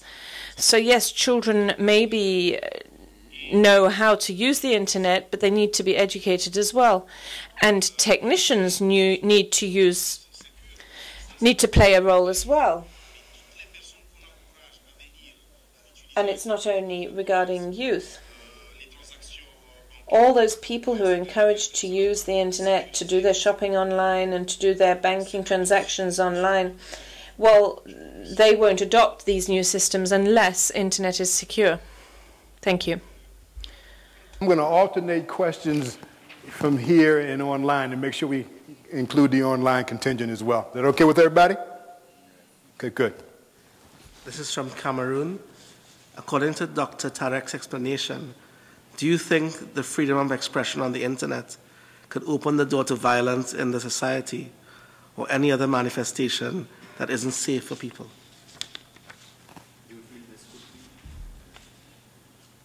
do you think the freedom of the internet, expression on the internet, could open the door to violence in the society or any other manifestation that isn't safe for people? No, I always think that the internet brings benefits by far more than any uh, uh, other bad sides that exist. And as it has been mentioned, uh, related to bad content, there are bad people, but not a bad internet because the internet is a tool. But let me add, in this uh, direction that I see it a little bit different. We have a responsibility as a community. We can't just lean back and say, well, it is like this, and the young people uh, are uh, just leading and utilizing it, and the, the overall global community has to swallow it like this. No, there is a responsibility for us. We should not create a vacuum as a technical and enlightened community, we should be up to our responsibility to work on enlightening people, on awareness, on self-regulation, on a cross-border level worldwide, because this is important to enlighten people and to make people aware and to, uh, um, to, to uh, not to create a vacuum. We need to address the issues before they become problems because if, the, if we leave them until they become problems, other people from other organizations and from other communities will jump in and take the leadership of this wonderful tool. Maybe taking the leadership of controlling it and changing it and using it in a wrong direction. So we cannot just lean back and say, no, we don't have anything to do with it. We should work on self-regulation, create communities for self-regulation, and leverage the technical community and the know-how that we really have in order to have and continue to have an open, secure, and free and uh, neutral and affordable internet. And very important in this aspect is to build what uh, the gentleman uh, from Senegal has mentioned, to uh, also explain the positive aspects. It's not, it's not just about entertainment, using social media for entertainment as the US. No, it is as well using social media for creating jobs, for creating value add for people, for their, for their simple economies. And this is a very important aspect to be explained and to be elaborated and continue also to be uh, promoted uh, so that the positive aspects of the internet prevail on any negative uh, aspects concerning the utilization. Thank okay. you. May I add something? Yes. Um, I'd say on the contrary, uh, uh, internet uh, um, uh, removes violence because people get violent when uh, they feel unheard and misunderstood. And internet participates, and especially social network participates in making more dialogue, so it hinders violence. Okay. You have a comment to that? I have a comment to that, but I also have another comment. So which one you want to go first? okay.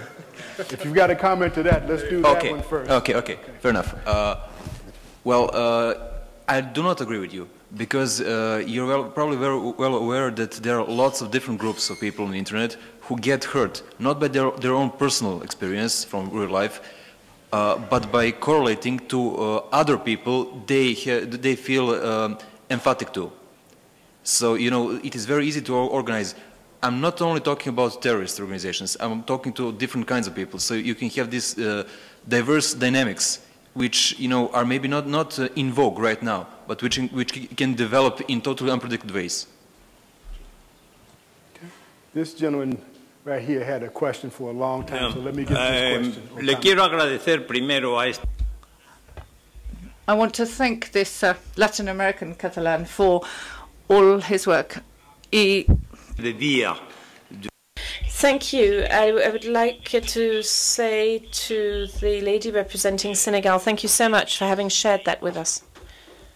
I may be the older in this room. Probably. I don't know. I feel like, anyway.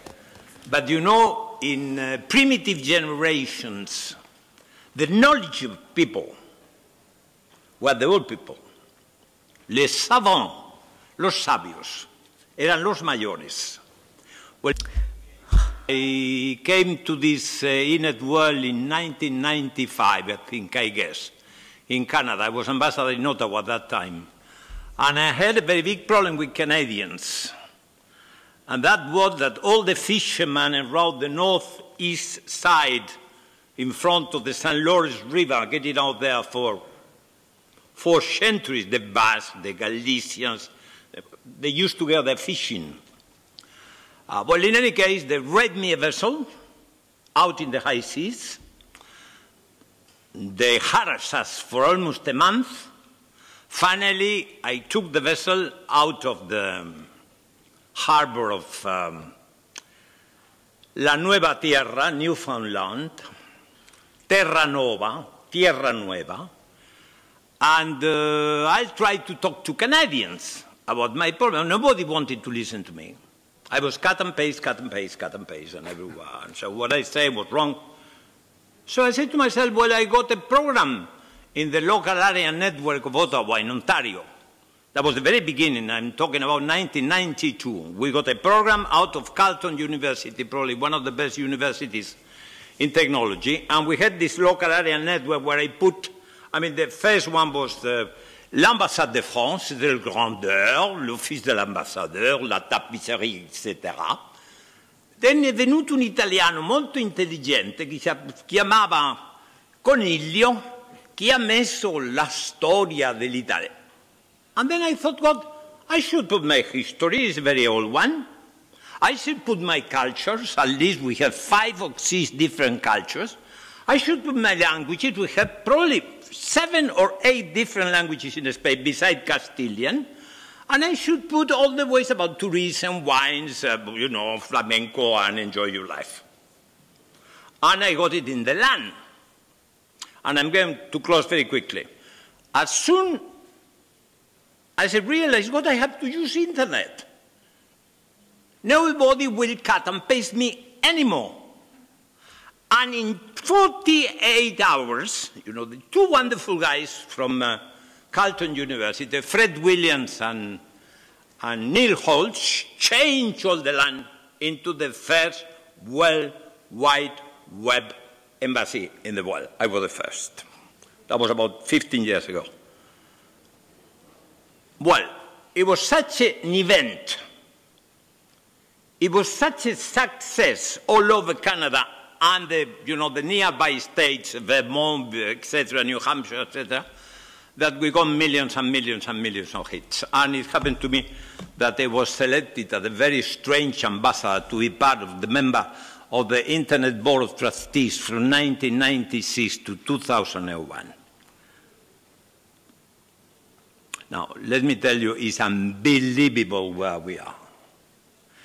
And it's going to be unbelievable where we are going to stay. In what? Three, four years, five years, 2017 or 18? We got Twitter, we got Facebook, we got iPad, we got iPhone. Who would have thought when I was with the poor Jon Postel at ISOC, when I was with Vinton Cerf. But, so, yes, and I finished now. I have a foundation called Fundación Los Álamos in three languages, in español, en français, and in English. It's called Fundación Los Álamos. I have a visit card you want to, to, to look to it. And we are convinced, after eight years of working, and I'm not going to say anymore, the basic word is education. Full stop. We have to educate our kids first, and we have a tool. Pocoyo, look at pocoyo.com, and you will see the Count of Florida Blanca invented that. Okay. And, and I finish, education takes aware of four basic elements of our society. Very much thought for years. I just wrote a book on that globality, interdependence, consciousness of the limitations of the planet in ecology, and speed of change. Apply all that to education, I will get out something very positive. Thank you Thank very much. I'm sorry. To be so long, I'm sorry. Here we go.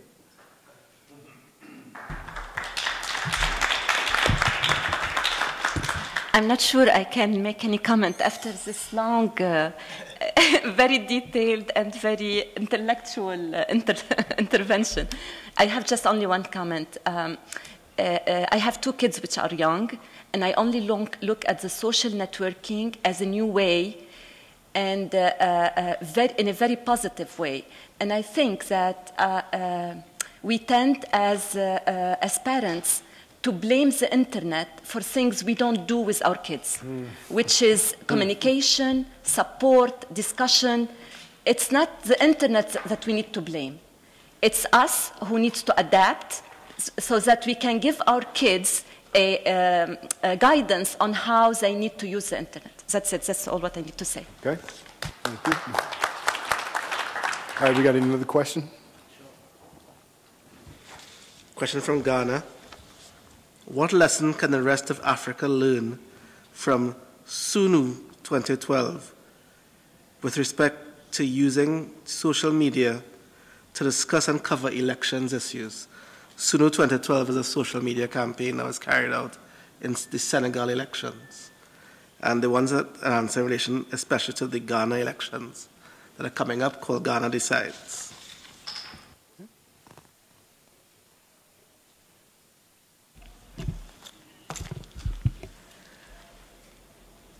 Par rapport à sa, à sa question, Well, to reply to your question, what lessons can be drawn from uh, SUNU 2012?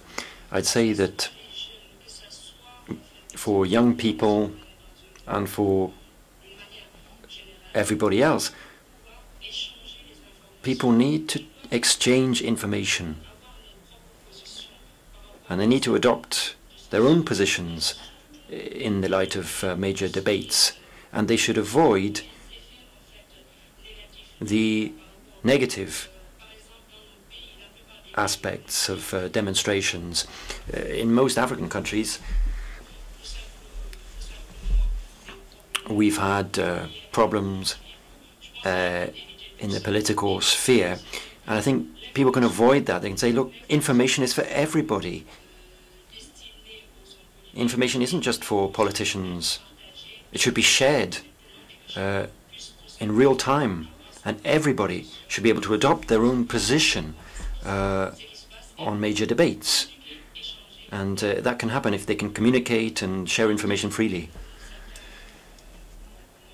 And avoid uh, some of the demonstrations that uh, uh, are deplorable some, in some cases, but aren't because of social networks.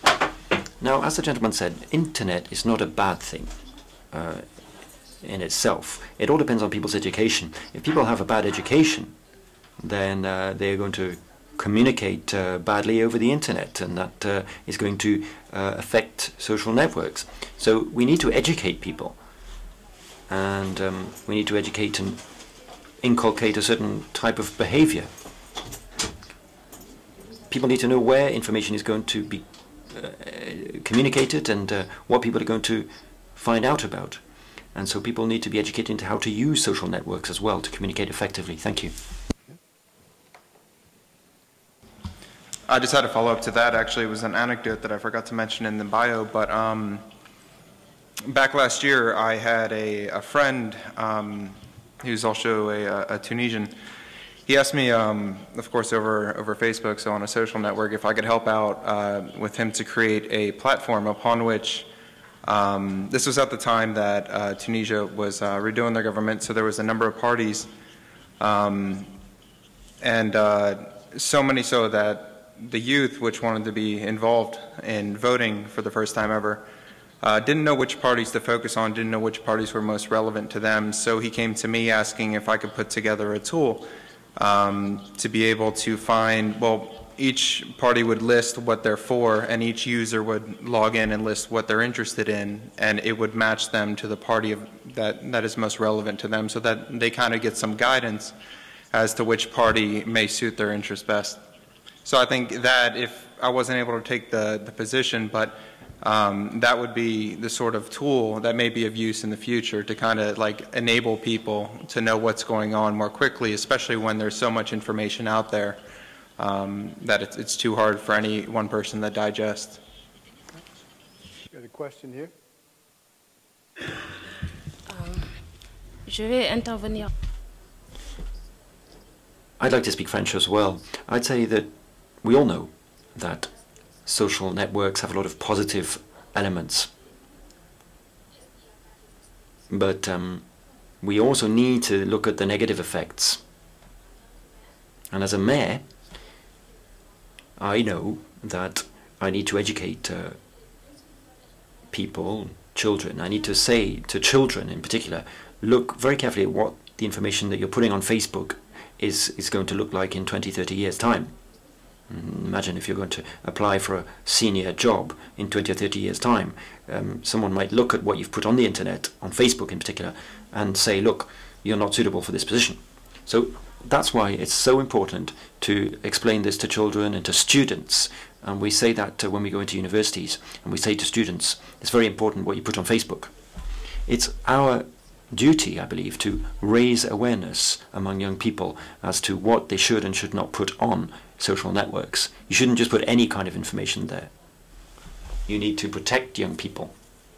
We should educate them because, you know, today's world is more and more open, it's a digital environment. But we shouldn't forget that we're talking about human societies that need to be educated, and humans are at the very heart of digital networks.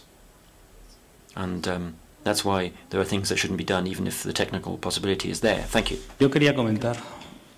I wanted to comment, to make a comment on what you have just said. I think I totally agree with what you say. I think we need to teach children um, what they can do and they cannot do.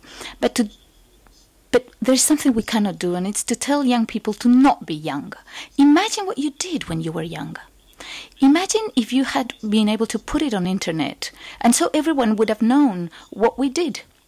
To tell young youngsters not to be young, it's impossible. This subject is complex.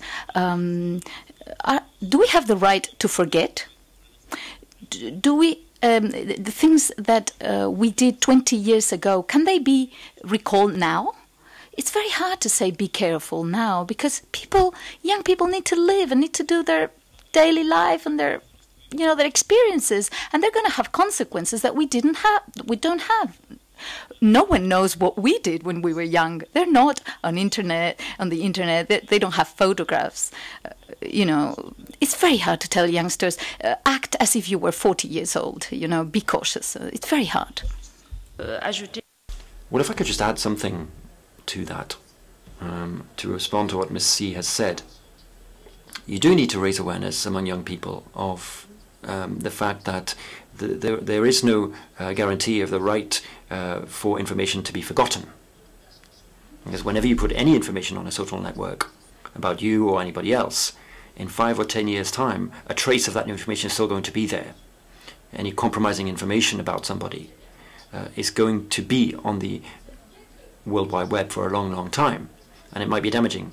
It's true that people like to go on social networks because there's a certain freedom, but freedom um, shouldn't impinge on the freedom of others. And that's why we need to raise awareness among young people of the importance of um, being careful about what they put on social networks. Uh, we have the chapters, uh, and they are an opportunity for people to exchange information about these issues.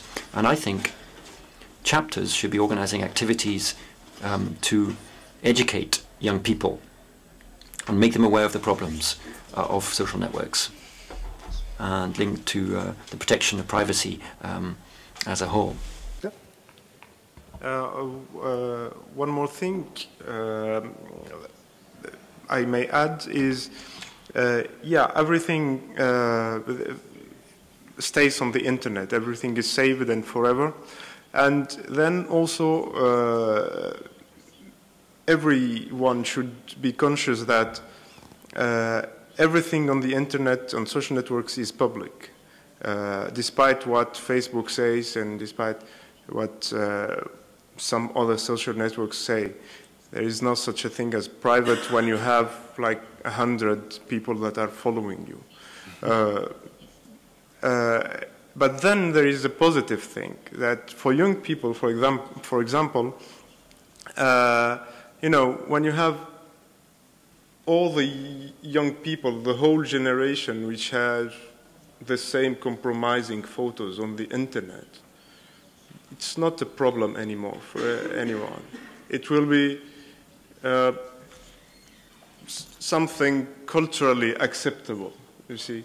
So uh, it's more mitigated than uh, you think. It's more, less dangerous than you, you may think. I know uh, uh we fear most of the time the future, but I think I'm more, uh, more positive about that fact. Uh, it won't be a problem that you have your photos drunk at a party in 15 years.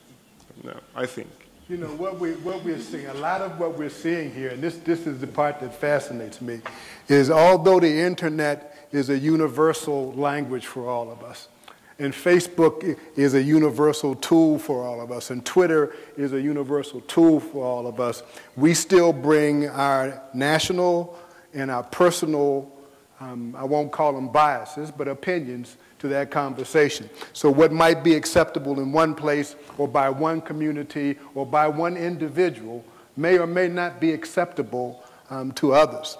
I had, uh, I remember two years ago, I had a, a lady working for me who said, and, and, she was the only one in her department who wasn't using um, uh, the, the Facebook page that we had set up.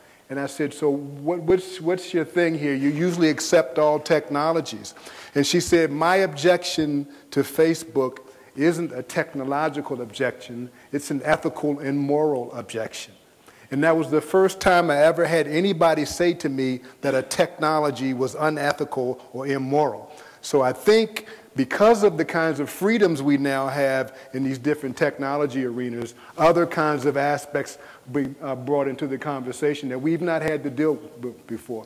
It's pretty hard to say that a, a word processor is immoral, but pretty easy to say that people living their lives out loud, out loud might not be something um, that's my particular cup of tea.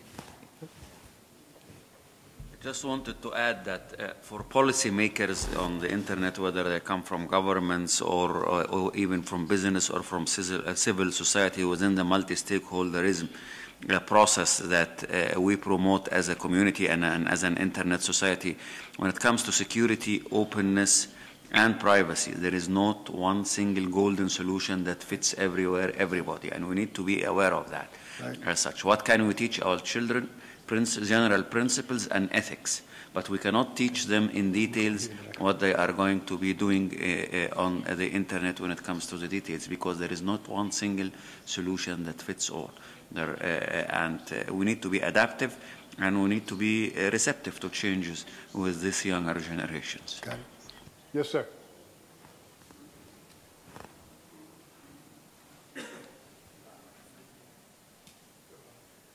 Okay. Thank you. So uh, I'm fearing we, we got to some contradiction here because um, we underline how, how, quick the internet evolves, how quick the social networks evolve. There are changes every day, every night. There are new tools uh, emerging.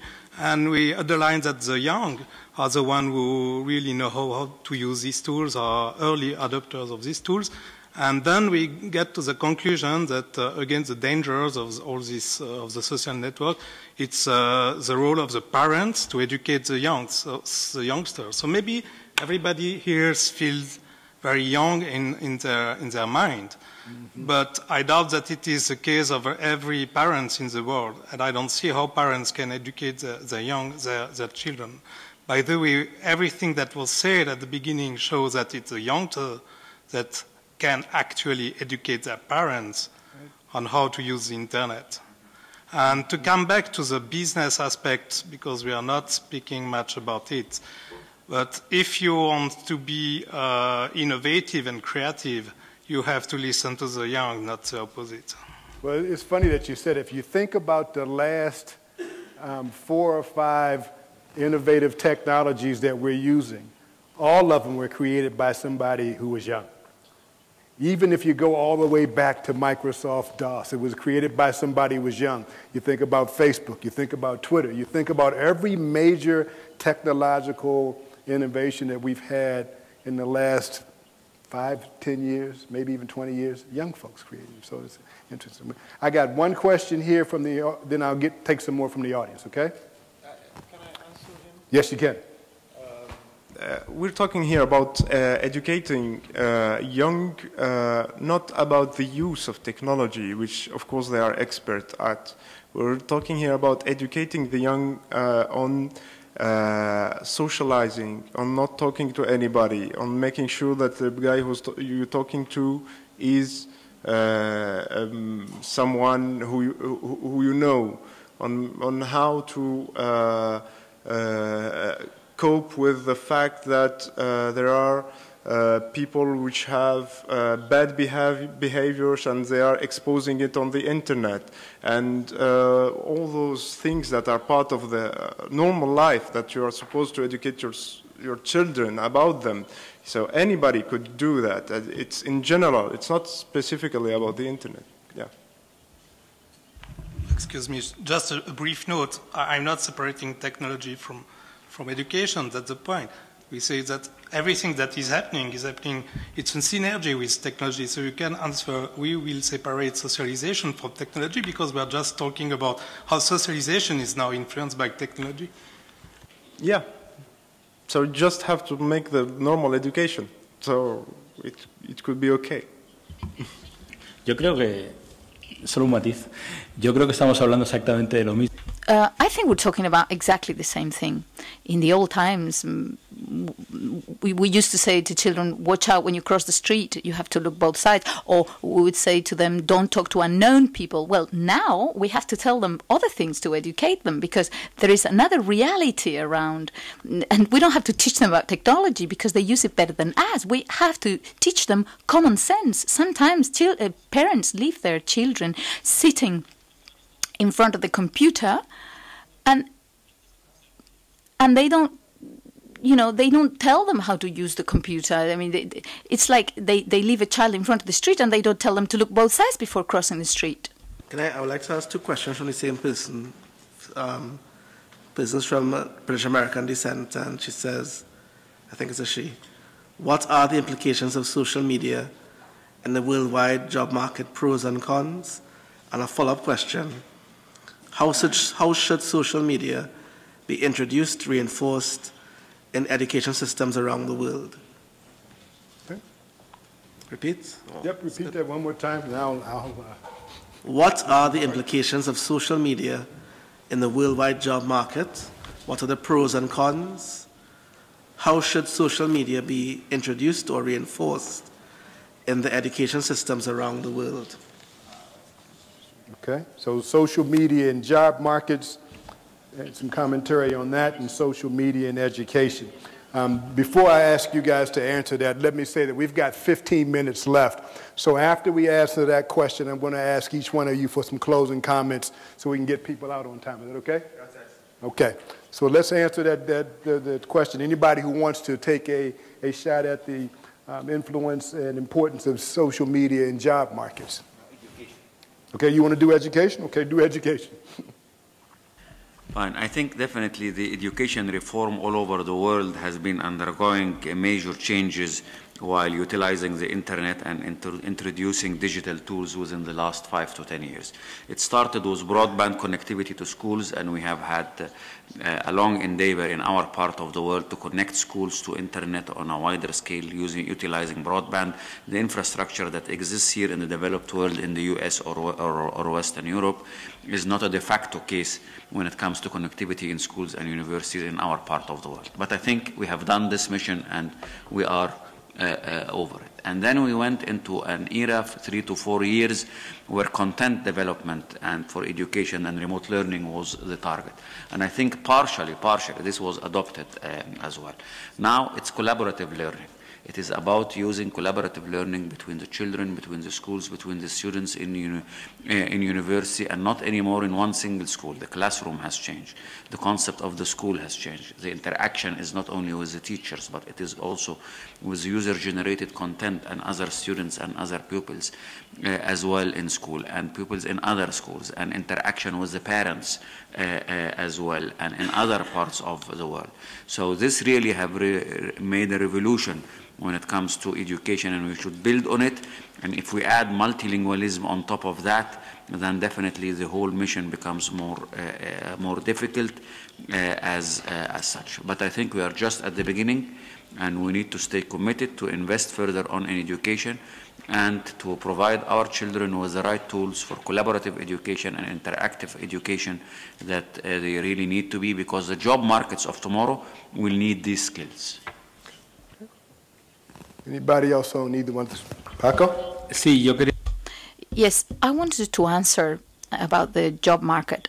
I think today many people look for work today um, through internet.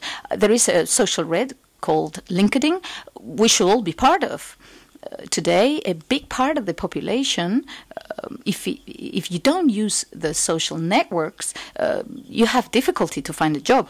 Uh, companies look for workers through mm, social networks like LinkedIn. So I think it's critical. It's very important. Okay.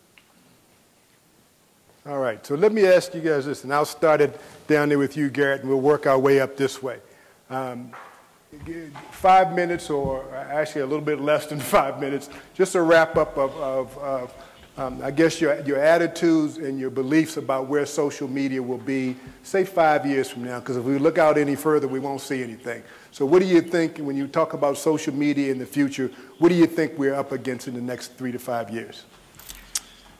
Well, first, I mean, I think that we need to get the kind of the parenting issue out of the way. Um, a lot of that, I mean, there's no there's no driver's license for the internet, obviously, so I think that a lot of these issues about uh, how younger people use the uh, the internet is is a, a, people and a parenting issue. It's not an internet issue.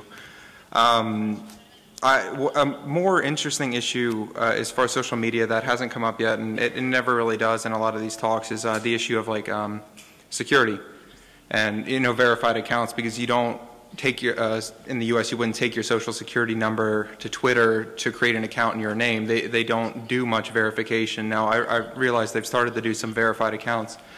But I think um, seeing how trust and our digital identity is worked out in the future um, is going to be really interesting, at least for me, to pay attention to, to see, because you know there's a lot of people who want to use social media a lot of uh, celebrities and a lot of people uh, with a lot of followers in the real world. But um, then, unfortunately, there's a lot of fake accounts and you know parodies and everything else that kind of take away from that very what could be a very useful tool. Paco.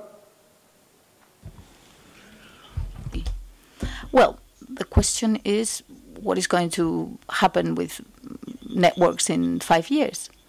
I think internet is going to stop existing we're going to stop uh, talking about it. I mean, because internet is like electricity. People don't talk about electricity. Well, I think with social networks, it's, it's they're going to have the same uh, thing. I mean, they're going to be so integrated in our life and in our ways of communicating that these words are going to disappear. I mean, we're all going to use them, and it's going to disappear also as a term. The younger generation has given us all a lesson on utilizing the social media for a political reform, at least in our part of the world. We need now to show some leadership on um, different organizations to utilize social media for better socio-economic development aspects social media for education, for better education, social media for better health services, uh, social media for better uh, e-governance services and e-government service and civic uh, engagement uh, as well.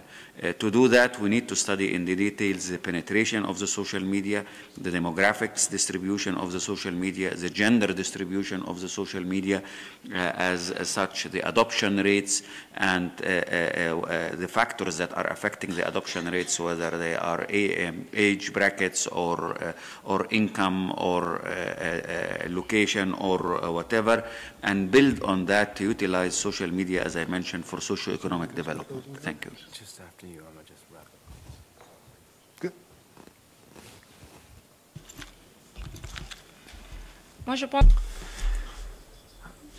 I think that social media and, me and uh, social networks are going to continue to evolve uh, more or less as they have uh, been evolving, and they're going to remain a communication tool. But we need to see how we're going to integrate them into our everyday lives. Uh, for instance, in education, And I'd just like to give you an example uh, that a teacher told me about uh, in a conversation. She said, Look, I've got a, um, distance learning training and I've got some classes that I want to put online, but very often my students don't go to that platform uh, to get the documents and to download the documents. But if I put the link immediately on my Facebook page, then everyone knows about it immediately and people start talking about it immediately. So I think we need to think about how we use these social networks to develop edu educational and other acti activities. But uh, above all, it remains a communication tool. Thank you. Um, I think we're at the beginning of uh, a new era, and we will see uh, new kinds of governance emerge. Uh, and I was inspired by the story in, in the book uh, Here Comes Everybody, where, mm -hmm. you know, those guys that come from nowhere build uh, a school in Africa and then disappear. Mm -hmm. And I think this is very important because probably the new kind of governance will be about gathering people around ideas and not around personalities or not around identities. And this is crucial because sometimes identities, local identities, the difference between us is something that is uh, very uh, hindering for the discussions and for the safety of everybody. So I conclude by saying, uh, don't fear the future. So I think it will be a good future for everybody. Good. So uh, a couple of words, just just in term in summary, and I, I think it's just based on more on these questions that, that we've had. Um, clearly, the internet is still relatively young. Um, when you look at uh, how long it's been around in, in conjunction with other technologies, very, very young. But however, it has advanced faster than any technology we've ever seen. In fact, we're having trouble keeping up with it because we're having conversations now uh, about things like security and things like what do I tell my children and all of those things that, that take it out of the realm of technology and into the, the, the, the world of, of, culture. It's a part of our culture now. Um, and as Paco said, probably maybe not even five years from now, maybe two years from now, we won't be having a conversation about the internet, just like we don't have conversations about water or breathing or all of those things that are a daily part of our life. Um, so I'm looking forward to that time when it comes. So um, first, join me in thanking all of my colleagues here for a wonderful discussion.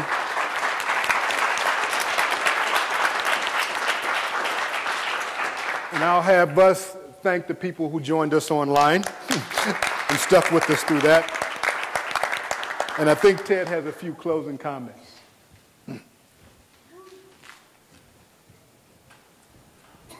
Well, as long as we're thanking people, I'd like to thank our moderator, Reggie Henry, for some inspiring words of his own. Thanks very much. Uh, I have to tell you that there is something here that does scare me. And uh, Paco was the one who said it first. He said that the internet's just a utility. The internet, in fact, is like electricity or water already to the people who are growing up with the internet. And one of the things that I want to make sure that we do is somehow make sure that we don't take that utility for granted. There are those of us who, shamefully it is, as it is, takes, take electricity and water for granted, although I know many in this room do not. And part of what we at the Internet Society want to be sure is that nobody takes the Internet for granted. The model that we have now is significant, uh, and the fact is that it has been the greatest engine for innovation, both social and economic, that I think anybody of this generation and maybe the last three generations has seen. And what we want to do is protect and preserve that model. And in order to do that, we cannot take it for granted. So one of our challenges is how do we make sure that that sensibility is instilled in our young people. And we come back to the, uh, the gentleman's uh, phrase, education, education, and education, which I think was also echoed here a number of times. Um, I don't fear the future. Uh, and I don't think any of us should. I think the future is remarkable ahead of us. Uh, and I also think that social networking has just begun to really enter the fabric of our lives. We're going to see so many different things that are coming about because of social media and social networking. And, and I want to participate in all of them. And I want my grandchildren, my great grandchildren, to be teaching me how exactly we're going to do that. So I want to thank all of you so much for being here today. Please carry on these conversations as you go on. Continue to network here and enjoy this wonderful global INET. I hope to see you all at the gala dinner this evening. Thank you all very much.